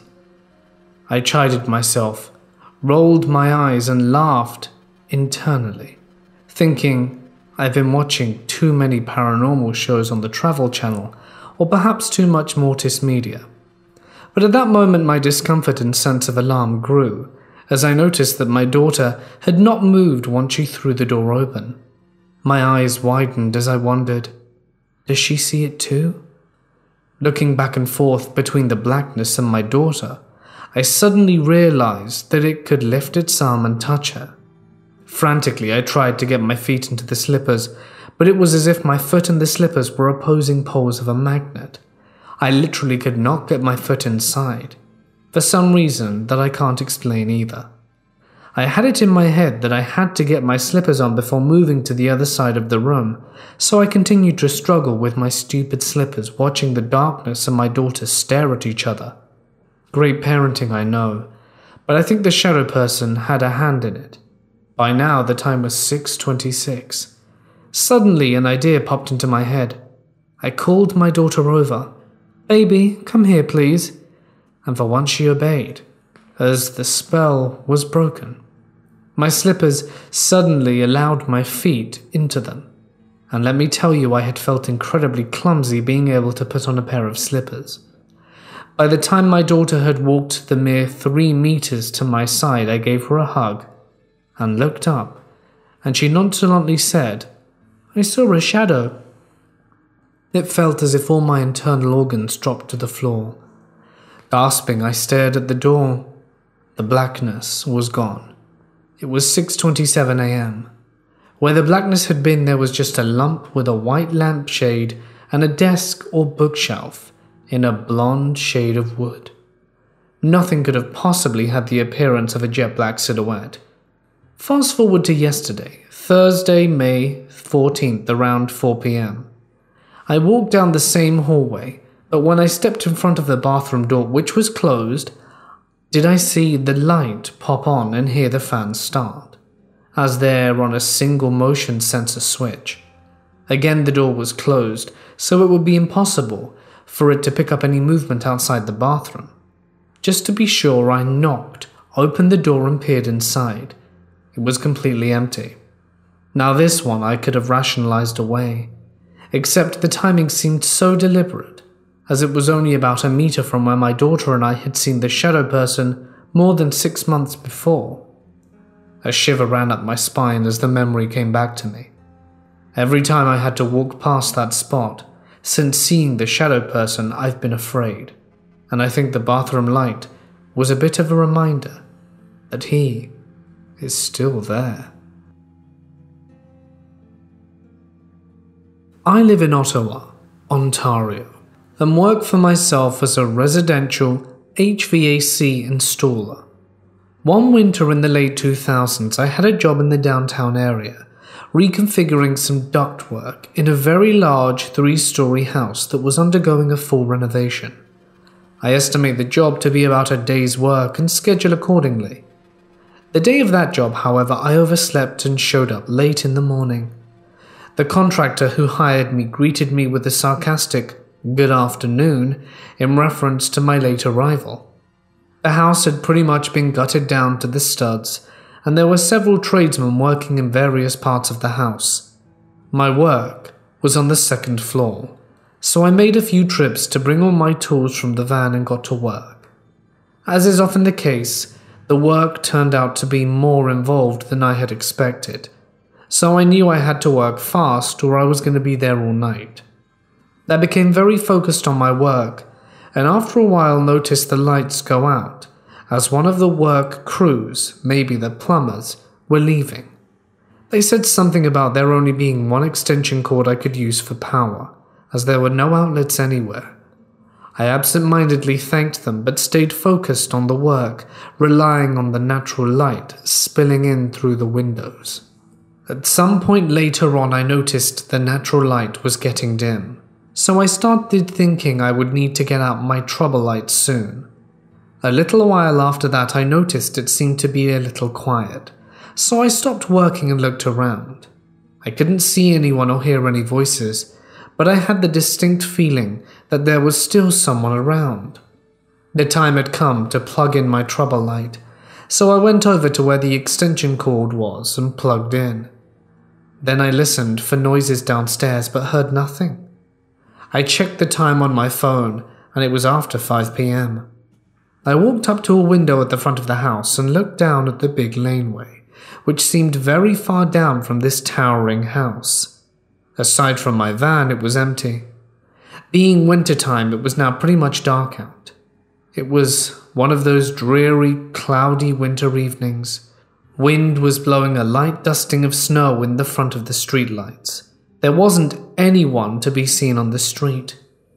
In that moment of realization that I was alone in the house, that feeling I had of someone being around instantly intensified into a very strong feeling that someone was definitely on the second floor, watching me through the bare studded walls. The hair stood up on the back of my neck and arms, and I turned around and saw no one. I had one trouble light lighting the floor with all my tools spread all over the place. I had about an hour and a half left of work to do, and I often work by myself in empty houses, and in the evenings, and I'm a large guy that doesn't scare easily. The bottom line was, despite that feeling of being watched, I had to put on my big boy pants, so to speak, to get the job done. I've never put ductwork together faster in my life. I just tried to block out my emotions and work. As I worked, and as the night got darker around me, that presence intensified. It definitely felt malevolent, and after a while it seemed to be coming from every direction, especially the stairs leading to the third floor. It seemed quite angry that I was here. I was afraid to focus my attention on anything around me for fear of actually seeing or hearing something to go with that presence. To have to finish my work and clean up my tools under that angry, oppressive presence was horrible. By the time I packed up, then started bringing my tools downstairs, it almost felt like it was chasing me out of the house. The last thing I had to do, and the hardest, was to make that last trip back up to get my final load of tools. Before I pulled out of the parking lot, I looked up at the house and it seemed to be glaring at me. I've had paranormal encounters before, and I couldn't discern whether this was just demonic in nature or a very angry ghost. I remember thinking as I drove away, God help whomever was moving into that house, and in future, I should try to avoid sleeping late. This story happened to me all throughout my life. In any case, let's jump to the first experience. My mum had just gotten to me into Michael Jackson back in 2003 when she got me his number one hit records. I had a 6 CD stereo with a remote in my room, and I fell asleep listening to the music. One night I was listening and Thriller was on. This had the Vincent Price ending, and at the end of the song, a door squeaks when it's closing. My closet was almost an entire wall, and it was two side doors. Well, the song ended, and I saw one of my closet doors push out and close, making a similar song. I ran downstairs and told my mum and her ex. They assured me it was my mind just playing tricks on me. They walked up to my room with me checked the closet to put me back in bed. A few months later, I was laying in bed trying to get to sleep. I used to keep my bedroom door open for the light in the bathroom. But my mum and her ex got me a lava lamp since they were trying to lower the light bill. It's around half midnight, a school night, my lava lamp is on, my stereo is playing a local radio station at a low volume, and I'm staring at my door as I try to drift off to sleep. I saw a figure walk through my door. She had a pink aura. It wasn't bright, but I knew it was a lady, and she was a bit on the heftier side, and I could tell from her facial features that she was middle aged and dark skinned. She was walking towards me, slowly, and I was frozen in fear. So I put the blankets over my head and kept them there for the rest of the night. I fell asleep at one point, waking up to my alarm clock. I never told my mum or boyfriend about this experience, and I was very reluctant to tell my mum's boyfriend because he always comes off as one to chalk things up to being my imagination. My second experience was quite a while later. I was 18. I was in my room watching Step Brothers when I hear a slight knock. I had no idea if it was coming from the movie or not, and I thought it could have been my sister or mum wanting to come in and talk to me. I rewinded the movie and heard no knock. So I opened my door and saw the ghost again. She was at the bottom of the steps and was turning the corner to go downstairs. I wasn't scared, for at this point, I had been really into the paranormal and she meant no harm. Or so I thought. A few months after this, my friend came over, and we were in my room talking about the paranormal. When the topic of ghosts comes up, I tell her my experiences and start stupidly mocking the ghost I had seen twice. I say she won't come out and show herself and that she's too scared to do so. My friend leaves and I go to bed at some point, and wake up the next day with scratches that start from my right ankle around my leg twice and up to my inner thigh. My leg was really sore. The line was perfectly intact, and there's no way I could have done it in my sleep. I pondered on what it could have been, and I can vividly remember looking around my room and saying, I'm sorry for mocking you. I won't do it again. Those three experiences are pretty far apart, but between them I've had some unexplained stuff happen. Our house phone illuminates at night, and at one point the upstairs bathroom toilet didn't flush. Walking down the steps and into the kitchen, then downstairs to use the bathroom, I can look to see the time on the phone as I'm walking into the bathroom. I can remember it was between 3:30 and 3:45. I was in the bathroom for a while, and when I walk out I go check the time on the phone. But it wasn't on the charger. It was about 7 feet away on the table. I could chalk it up to my mom or her ex because they slept in the living room, but they rarely ever woke up in the middle of the night. And even so, why grab the phone so late? The TV was off, and I'd hear them if they were up. I've heard steps in the downstairs room, the tables and chairs not being in the same place just seconds after seeing them in another spot. I even had my first and only episode of sleep paralysis, which was nothing too horrifying, just unable to move, breathe, and open my eyes for 15 seconds. Nothing scary. We had two dogs, and one stayed inside and one stayed outside and in the garage. And there are times when the inside one would stop what he was doing and just stare at a wall or corner. Sometimes he'd bark, and other times he'd give off a low growl. My mum worked at a college for a long time, and there was a foreign exchange student from the UK. We became very close. We'd often stay together, and my mum's ex and the student and I were watching The Exorcist and got to talking about stuff. By this time, I didn't care what my mum's ex thought of my experiences, and I told them the things that had happened. As I'm explaining, I don't go into the details of the ghost outside and how she had a pink aura and my mum's ex kept asking if it was a dark lady on the heavier side. At one point, I told him it was and finished my story. When I was done, I told him that he probably didn't believe me, and he said he did. What he said next, though, sent chills down my spine. He said he was good friends with the former house owner. He got it way before we moved in, and the former house owner died in the living room after having a heart attack. He purchased the house soon after her untimely death and told me her name was Ernestine, and she had pink curtains, pink rug, and her favorite color was pink. I never doubted or put my experiences off to my imagination, because I've had some odd things happen at my grandma's house before we moved in with my mom's ex.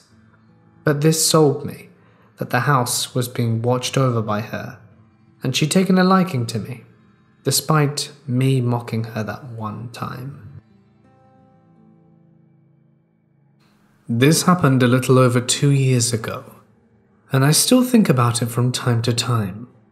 It was October, and I was a senior in high school at the time, and had been sleeping in very late, as I had a terrible case of senioritis. When I woke up, my mother had just returned home, and I said my typical morning greeting to her in the kitchen. She had seemed somewhat surprised when she saw me and eventually told me something rather alarming. About 30 minutes before I had awoken, she had seen my younger brother getting ready for school. As she had passed by the archway into the living room, she said she saw me standing next to the couch. She assumed I was waking up and groggy. She hadn't thought much of it and continued on her task of taking my brother to school.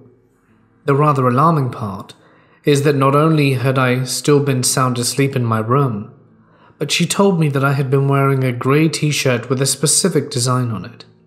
At the time, I no longer owned that specific grey t shirt. I'm not even sure where it went. I was also wearing a completely different t shirt when I woke up. She said that I had just been standing there with my long dark hair obscuring my face.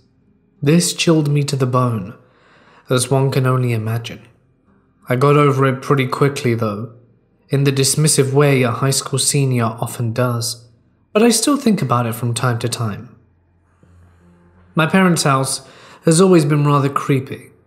I had a few more odd experiences up until I moved out and into an apartment with my fiance, then boyfriend. On a few occasions, I've heard my name being called by my father when I was home alone. A pretty creepy encounter happened a few months after my mum had seen my imposter. I had been putting my shoes on in the dining area as I looked up, and I saw a greyish figure float by the window. It had gone by the first window and didn't continue into view of the second window. It completely vanished. It was broad daylight, as I had gotten a pretty good view of it, even though it had gone by rather fast. It seemed to be wearing a cloak or a cloak like grey hoodie. I remember grabbing my bag and running outside, heading down and leaving for school like a bat out of hell.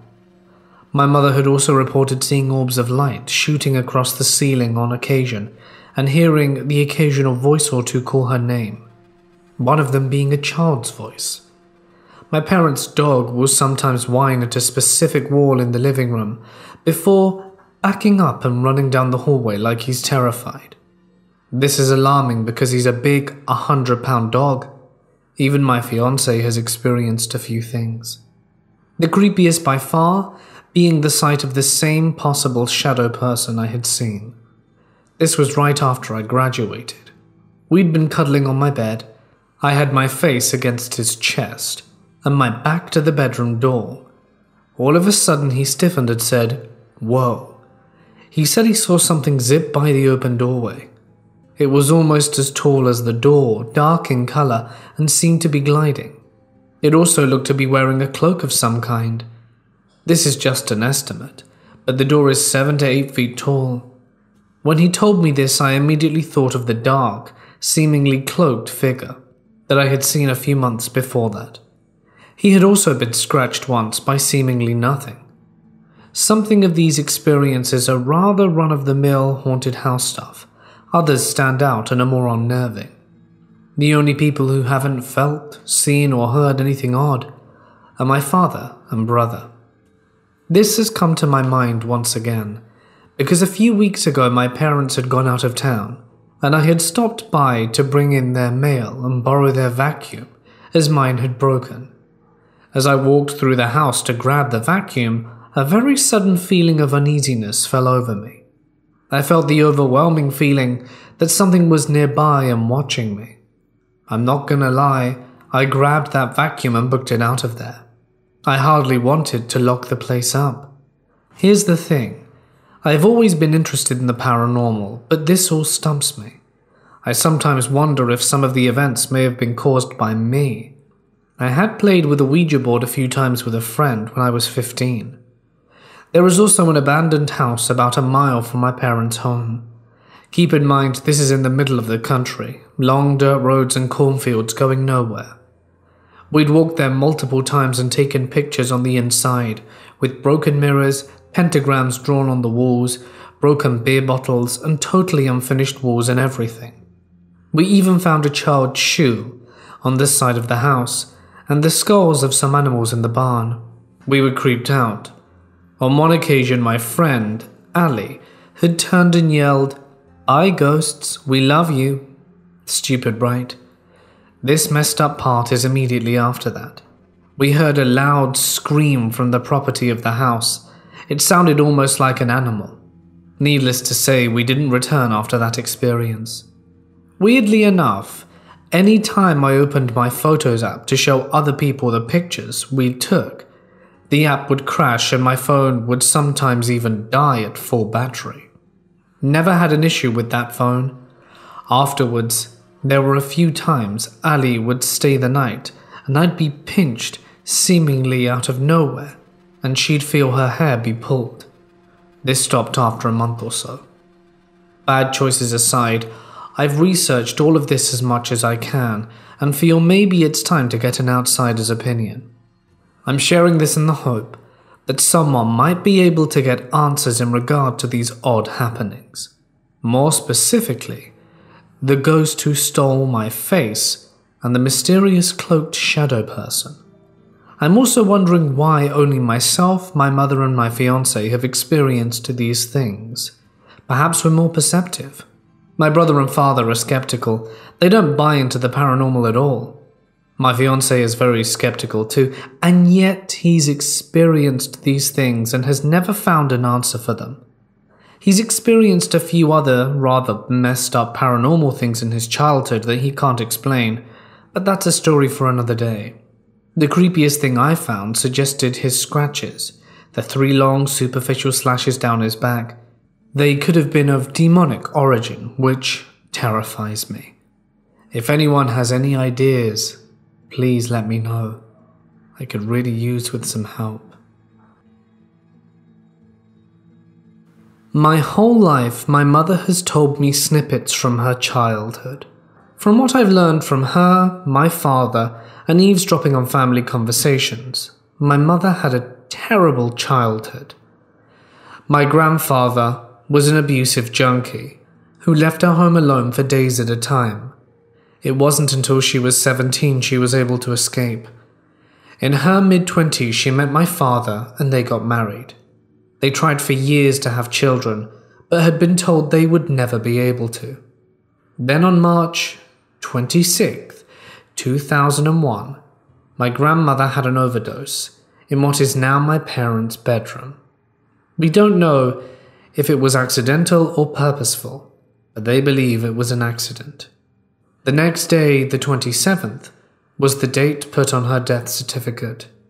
Exactly one year later, my parents had their first child, me.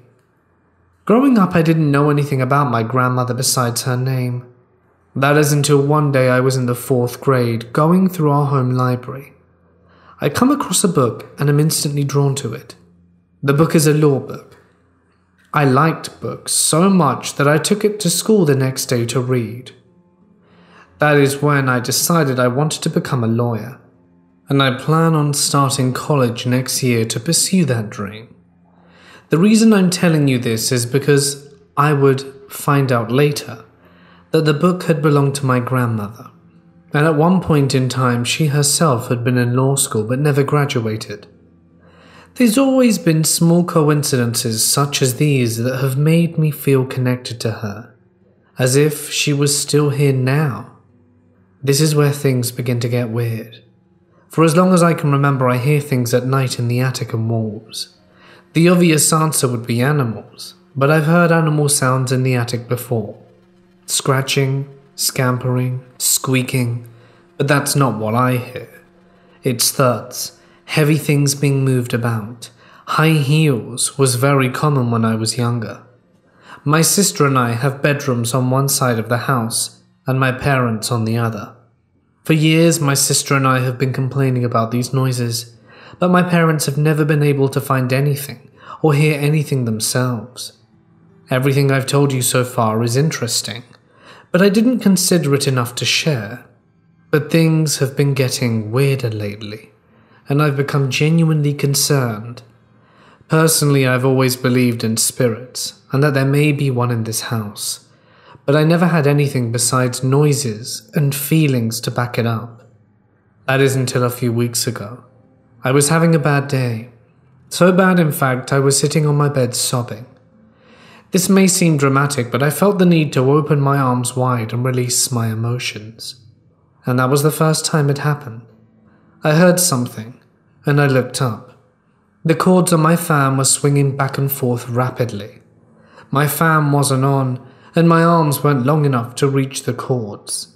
I even tried to stretch and touch them from where I was sitting, but I was at least two to three feet away from even being close. Now to the reason I'm sharing this. About half hour ago I'm sitting on my bed watching a show when I heard a noise. I look up and only one of the cords was moving and fast. My fan wasn't on I put my hands around the cords to feel if maybe air had done that, although it doesn't explain how only one would be moving without the others being affected. I'm honestly very freaked out and would appreciate any thoughts and suggestions. My family has always been pretty sensitive to the paranormal, only on my mother's side, but it did pass down to my brother and myself. The first story occurred when I was about six years old. I have a friend called Caitlin. We hung out almost every day. I live in a wooded area, and we have a brush pile of approximately seven feet. Caitlin came over one day in the middle of winter, and we were sledding down the snowbanks in my driveway. We were about to go on our third or fourth run to solidify the track, and Caitlin froze in her step. I jokingly asked her if she was tired already, and she smacked me and pointed to the brush pile. Do you see that? She asked me. I turned and saw a figure there. It stood a foot or so above the brush pile, making this thing about eight feet tall. It was in the shape of a person, but a solid black mass. Needless to say, we both freaked out because it was just standing there. Then, as we ran towards the house, it disappeared. Fast forward eight years. I'd just turned 14 and we temporarily moved in with my grandparents. I was down in the basement doing some artwork for an assignment, and I felt like I was being watched. I turned around and I remember dropping my paint palette on the ground. There it was. This thing that I hadn't seen in so long was standing in front of me. I had no idea where it came from, and at this point had chalked the previous experience up to being a child with an overactive imagination. But here it was standing in front of my face. I noped out of the basement as fast as I could and started seeing it more frequently every time I went to do the cat litter which sadly was also in the basement. Every time I was down there painting, and even when I was at school, this thing would appear. I was convinced I was going mad. I ended up calling Caitlin and asked her if she remembered anything odd from when we were kids. She responded with something along the lines of, Not really, besides the thing in the brush. Now I knew something weird was happening. She remembered the experience as vividly as I do, even though we hadn't spoken about it in almost a decade. I'd recently moved into my new house and figured that would be the end of it. But nope. First night I was in the basement, the figure was back. I still see it to this day over 10 years later. I have no idea what it is. There's so much more to tell with this entity, including a near death experience. I just wanted to put this out there to see if anyone knew what it is. Some members of my family built a house in the country back in the early 90s. Strangely, there had historically been houses previously there which had burned down. I don't know if anyone passed in either, but I have my suspicions. As they were building the house, a neighbor approached and plainly told them that their house was going to burn down. It was the first thing anyone ever said to them about their house. The house still does exist and they still live there, but there have always been some weird happenings in the house. The mother was studying for a college test and heard a ball bouncing against the wall in one of the children's rooms. She called for the child to stop throwing the ball, forgetting that they were at school. As she did so, the ball rolled down the bedroom hallway towards the living room and into her line of sight. She was alone in the house. The boy and I were once in his basement room and we saw the face of something human like, but completely dull and lifeless in the storm window. The little 18 inch tall window at the ceiling in some basement rooms. There's no way the face could have been there because the storm window is only 18 inches deep and the face was oriented normally. Sleeping in this house is like a real nightmare. As a child, I would feel things brushing my arms and legs when I slept. There was this awful Mrs. Beasley doll that the mother had, that I swear would follow you with its head as you walked around. A few weeks ago, I was staying with my mum, grandfather, and uncle in a small cottage in Cape Cod, probably built sometime in the late 60s. My mother and I were staying in a room with two twin beds about six feet apart on each side of a small room. We had driven there late, and everyone was settling down to go to bed around 3 a.m. The very first night that we were there, it was around 3:30, and the lights were off and my mum was already asleep. Now I 100% know that I was tired at this moment, but I was completely awake. I'm getting chills just thinking about it. I was laying on my side in the direction of the bed, facing my mother and suddenly I blinked, and the next thing I know, a pitch black shadowy figure with womanly features and long hair hanging down appeared in front of me, clear as day, and whispers, Hey, shh. And for a short moment I thought it was my mum, but when I looked, she was asleep and the figure was gone before I could react. I spent the next two hours freaking out, practically having an anxiety attack with my heart racing, trying to play off what I just saw. My mother doesn't believe in the supernatural and says it was my imagination. But I am a college age man and know for a fact that I was completely awake when I saw and heard what I did. I felt incredibly uncomfortable in the room the next three nights, as we were there and slept facing the wall. I didn't even dare to flip over and face that wall again, and I swear I heard light footsteps the next few nights in that room, all aboard the Nope train. I grew up in a haunted house and never really liked talking about it. The house had a bit of a messy history as well, but I'm not sure if that really ever played a part. Not the stuff I'm aware of, anyway. When I grew up, my brother and I talked about it, and it turns out he'd experienced things as well, though I never went into any details of my own. The part people seem most interested in are the three specific things that I encountered frequently. So that's what I'm going to focus on. The first is the boy. There was a young boy of maybe nine, perhaps even a little younger, who stayed in my room. I wasn't even aware of him until I moved from my brother's room to my own. He never spoke and always seemed really scared. He hid in different places in my room, under the bed, in the closet, in corners, even once or twice in the upper corner of the room against the ceiling. Sometimes suggested he may be scared of the other two but I didn't know if he was even aware of the old woman, who was the only other one that came into my room. I don't know for sure, I guess. I don't know anything for sure. But to be fair, whatever the case, I recall that he had shortish but messy brown hair and wore red, white, and blue striped rugby style shirt. I believe he was aware of me. He mostly kept to himself, but he would stare at me sometimes and would open and close my closet and this little armory in my room. But most of the time, if I didn't see him, I wouldn't even know that he was there. The old lady. She was not confined to my room, but I rarely saw her anywhere else. Like I said, she used to wake me up staring at me face to face, almost nose to nose. She had huge eyes. I remember that vividly. Whenever I would see her, she would usually be staring at me.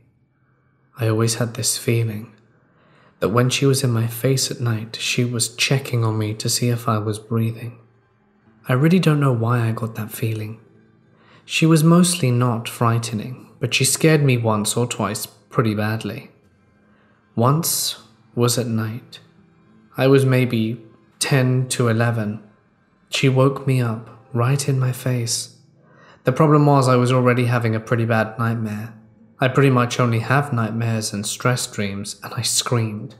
I don't know if that scared her or annoyed her, but she shrieked and sort of scuttled away. That was the worst one. Other times, she mainly just creeps me out. She likes to hum these weird sounding songs and basically looks like an old lady. Floral print dress and stockings. The eyes were pretty creepy as well, though, I suppose. Next, the bad one. This is the only one I genuinely feared. It never touched or hurt me, except when I would fall or stub a toe while fleeing. Sometimes it felt like a woman, but other times it didn't feel like a specific gender. It liked to chase me, especially up the stairs. When it did that, it was a woman with very stringy and greasy hair, and it either didn't have a jaw or its jaw was unhinged, with something disgusting slobbering from the mouth. Its tongue hung from its mouth almost to the floor, and it was wearing something very bulky. The best I can describe it is that it seemed to be wearing a ghillie suit. It had fringes and was dark, seemed dirty as well. I'm not even sure if it was clothing or being worn. The strangest part of this one is that I never saw it like I did the others. I just sort of felt it, and always had a vivid mental image. It didn't always look like a woman thing. Sometimes I didn't get an image, only a feeling. She used to scream as I turned the hall corner too, just to jump scare me, it seemed. It was a real a hole, even though it never touched me. I always got the feeling that it hated me like if it had the ability to, it would have hurt me. I would talk about it more, but as a grown man, I've got knots in my tummy just thinking about it. I often doubt if I even believe my own experiences. I have been plagued with nightmares for so long, but I never rule out dreams. But it doesn't cover all of it. I'm a very logical person and always play the skeptic when I discuss the paranormal with friends. I think this is part of the reason I don't share this stuff often. Maybe only with three other people and never in so much detail.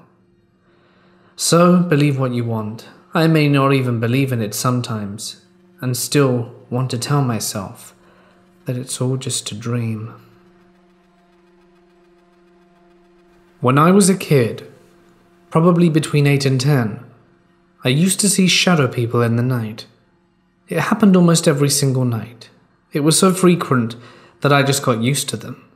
They never scared me when I saw them. They would just walk against the wall and watch me while I was in bed. I remember they never had clothes, they were just a figure or body. They used to open my door at night, and I'm pretty sure one of them whispered my name into my ear at night, before bed, while I was brushing my teeth. I was in the washroom with my cousin and sister brushing our teeth before bed.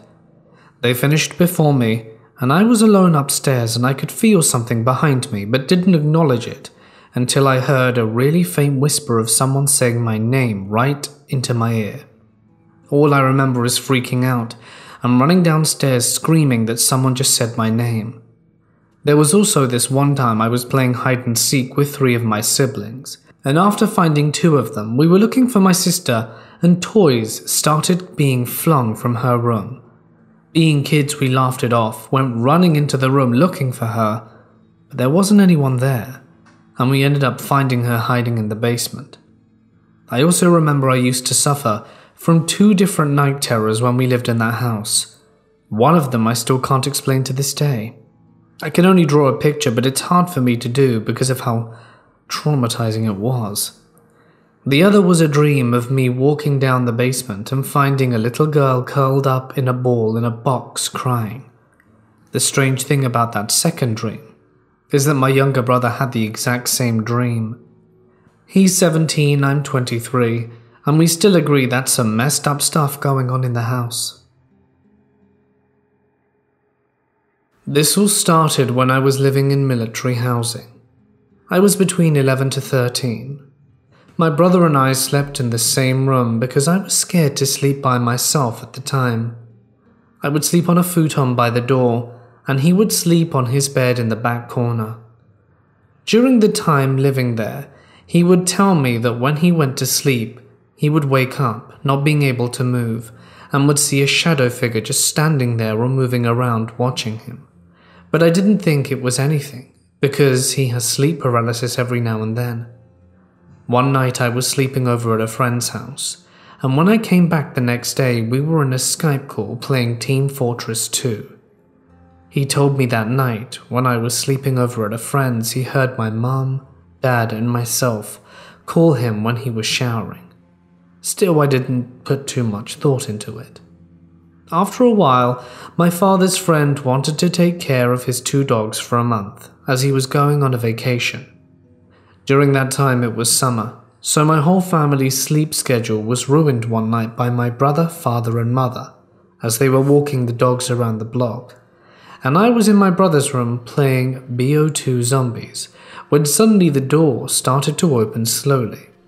It's like those paranormal videos online when they slowly open. I thought it was the wind at first, so I closed the door and locked it. When I went back to the game and it opened again and unlocked. I was freaked out at this point and closed the door and made sure to hear it click to guarantee myself it had indeed been closed all the way. I locked it and gave it a pull. It didn't open. So again, I decide to sit down and resume playing. And when I look back, I think whatever it was was probably angry. And not long after, the door burst open like someone had kicked it open, and I just felt like there was a demon or a monster coming to kill me. So I ran downstairs out of the house to the neighbors in the middle of the night, ringing their doorbell, but no one answered and I started crying in the middle of the street until my family returned from their walk. My mother got tired of us talking about this thing and called my grandma, who's very religious and spoke in a completely different language that no one understand while deep in prayer, and she goes to other people's homes to cleanse them. My mum told her everything, so my grandma went on a 20 day fast with only water, and when she was ready, which was when we were back in school, she told them to take us to school and come back, and to call her. I honestly didn't know that she knew much, but when they were on the phone, she said to go to the kid's closet and that it's in there. So my mom opened it and started to pray out loud with my grandma on speaker, telling it to go away. Then she says it went downstairs to the kitchen corner and she tells my mum to open the door and let it out. She does just that, and it's gone. And we haven't had an experience like that again. Years later, I asked her about it, and she told me the whole story, and it was actually there much earlier than I thought. I don't even remember, but my brother and I would say, We don't like eating at the kitchen table because there's a guy in the corner staring at us. And just before everything, there was a whole flock of crows flying above our house in circles. That day, that she opened the door and let it out, she could hear a squeal like an animal or a pig, and again the crows were back, but this time they were flying away. My grandma said it was the spirit of death wanting to take one of us and to destroy the family. So crazy to me. Also, throughout that whole time, my dad got cancer. My mom was suicidal and had a knife on her throat in front of us and they were going to get divorced. My dad was discharged for the Navy for sleepwalking and taking something from a store at the barracks. Eventually, everything got better. Now I'm a junior in high school and so grateful to my grandma for helping out. I was sleeping pretty tight, and I think it was something like 2 to 3 pm. You know, when inside your house is totally dark, but not that pitch black darkness, more like a bluish darkness. Anyway, I was sleeping like a rock. Trust me, because I woke up all of a sudden without the sound waking me up, and the door of this room was open. I can clearly see the short corridor and part of the living room. And then I looked to the living room to see something tall, a hundred percent black, and wearing something like a coat, standing near my boyfriend's grandma's feet, and I was paralyzed. I stared at the entity for a minute or so, and it wasn't even bothered that I was looking. I looked to my boyfriend's bed, but he was asleep, and I wanted so badly to wake him up, but I was scared that if I moved, I would rouse the thing and it would approach me. Maybe if I stand up or stick my leg pretty close to his, I'll wake him, I thought but I was afraid the entity would look my way. So I tried pressing my eyes together to see if it was a hallucination. But it didn't vanish. It was standing there like a real person. So after deciding that I couldn't do anything about it, I closed my eyes with my heart pounding on my chest and fell asleep. In the morning, I heard from my mother in law that his grandma wasn't feeling well and had to go to the hospital. I can't say how freaked out I was, but I didn't tell her because she's skeptic. But I told my boyfriend what happened, and from that day on, I've always been afraid to wake up in the middle of the night in case I see something I don't want to. I live in North Carolina, in a once small county. I moved to the United States from Mexico in 2008 and moved into a really small, cramped house that had two bedrooms and a bathroom, a kitchen, and living room. Well, we pretty much started from zero, since we'd only just arrived to the US. It was me and my mum and dad and five other siblings, three brothers and two sisters. I was the youngest. We didn't have much. My three brothers and I shared a room while my parents and two sisters stayed in another room. One night I had to go to the toilet, so I got up and went to the bathroom. The bathroom was next to my parents' room. I heard something fall when I was in mid piss. I thought nothing of it, since I had a lot of siblings and simply assumed it was one of them.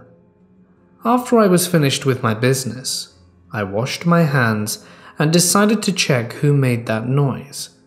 As I walked into the room, I saw my sister was awake and looking in the corner of the wall like if someone was staring back at her. I thought it was so weird, so I asked what she was doing. She didn't answer me. And so I said, Hey, I'm talking to you. Then she snapped out of her mind and looked at me with a really scared face.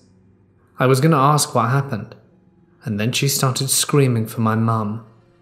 I got scared and jumped to my parents' bed. They woke up and asked what was going on. I said I didn't know. They told me to return to bed. After I left the room and stayed outside the door to listen to what they were talking about, I could hear my sister crying and telling my parents she saw a woman in a black dress. She said the woman was standing beside two children who looked to be burnt. My parents told her it was just a dream and to go back to sleep. But she said that she wasn't sleeping when it happened. It was at that precise moment my parents looked each other with fear painted on their faces. To try and appease her, they told my sister to lay down with them. So she did. I went to bed after, and a few days later, my sister began screaming again. She woke up everyone in the house, claiming the lady was trying to grab her. All my siblings were confused. What woman? they asked. She said she saw the same woman from before, but this time she had tried to grab her. She said that she had woken up to use the bathroom when she saw the children on the opposite corner. Then, the lady came from the hallway. She screamed as she approached her, but she wasn't walking, she was floating. As her hand was approaching my sister, all three of them suddenly vanished. My parents told her that she needed to stop making stuff up, but my sister insisted she was telling the truth. My mother at that point got very nervous and scared, because reading my sister's facial expressions, she could tell it wasn't a lie. She then told her to sleep with them, and the next day my mother called the local priest to bless the house. After that, the activity went down, and my sister didn't see the lady anymore. Well, one day, a pipe under the house broke, so my dad had to go into the crawl space to replace the pipe. He told all of my brothers to go down there with him to help, so we all followed. What we found still haunts me to this day. As soon as I stepped into the crawl space, I got a chill. I saw a lot of candles all over the place. They were red and they were black. I asked my dad why they were here. He replied saying they were probably just old candles that people didn't need. My brother called my dad and told him that he found a lot of books. My father said that that was nice and to take him outside to see what kind of books they were. So my dad fixed up the pipe and left the crawl space.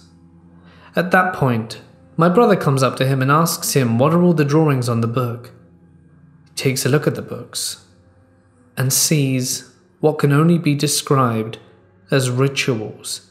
He then tells us to drop the books and go inside to get my mother. At that point, they talk about it, and I think they confirm that they were wicked, perhaps even demonic or witchcraft books. My mum then tells him to gather them up and set them on fire, which he does by pouring gasoline all over them. At that point, they start wondering if it's related perhaps in any way to what my sister had been seeing. We try to put it to the back of our minds though, go in and eat dinner, and then watch TV. But that same night, we hear my sister screaming. I hear my parents tell her what was going on, and she said the lady was really angry that they burnt her books my sister and parents stayed up the rest of the night, and the next day they went to church to ask the priest what it could be. The priest said the house was cursed and that we should move out. and my parents began looking right away for a new house to move into. Jose came back home. My sister told them that she was in the bathroom and she saw the lady appear out of thin air, and then apparently the lady asked for a favor. She said that the lady wanted my dad to open the chimney and clean it out. It was so late, my parents called my uncle to tell him if he could come over the next day, to which he agreed.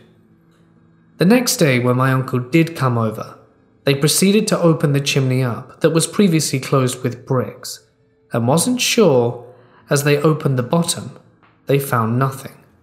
So they decided to open the top, where smoke comes out, and as soon as they did, the wind almost knocked my dad off the ladder. He thought it was strange but brushed it off, and when they finished, they found bones and ash. My dad got really scared at that point. He put the bricks back and went to the store and bought concrete and sealed the chimney off. My dad and uncle went inside and drank some beers. And my uncle offered my dad some space in his house while they found a house to move into.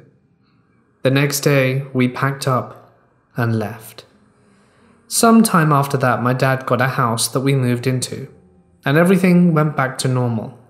And my sister, fortunately, stopped seeing the lady.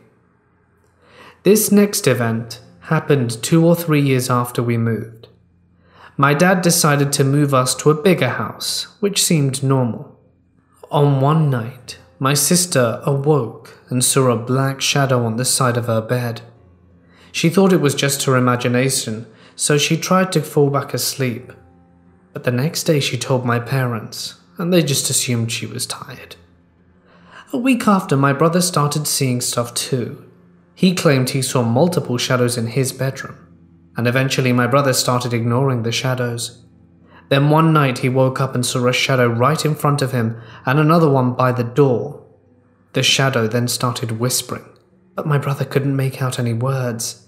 He then started praying, and the shadow vanished. When he went to my parents' room to tell them what happened, they told him he was tired and that it was all in his imagination. So my brother returned to his room to sleep and never saw anything afterwards. A few years passed and my sisters moved out, and one day my sister came to visit and had to use the bathroom. So she went to my parents' room to use theirs since the others were occupied. She was doing her business when all of a sudden she got goosebumps, looked next to her and claimed she saw the Grim Reaper and started screaming, and my parents heard her screams. My parents ran to the bathroom and asked her what happened, and they found her on the floor crying. My sister said the Grim Reaper tried to take her. She then showed my parents her arm, and there were three scratch marks on it. She then left and didn't return for a few more weeks for another visit. This final experience is my own. One summer day I was sleeping in my bed and awoke as I had to use the bathroom.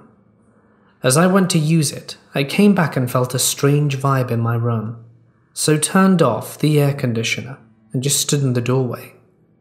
Then the bed all of a sudden began shaking uncontrollably. I got scared and ran to my parents' room. My dad was on a business trip and wasn't in town, so I jumped on the bed and awoke my mum and told her what was going on. My mum told me to stop playing games and return to sleep. I told her that I wasn't playing a game and that we should go check on the bed. We both sat there quietly, listening, and she could hear my bed shaking. We started praying, and a few seconds later the bed stopped. I was so scared I asked my mum if I could sleep with her, and she agreed, and I fell asleep in her arms.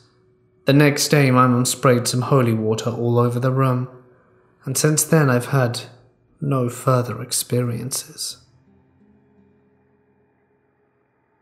I was 16 when this occurrence happened.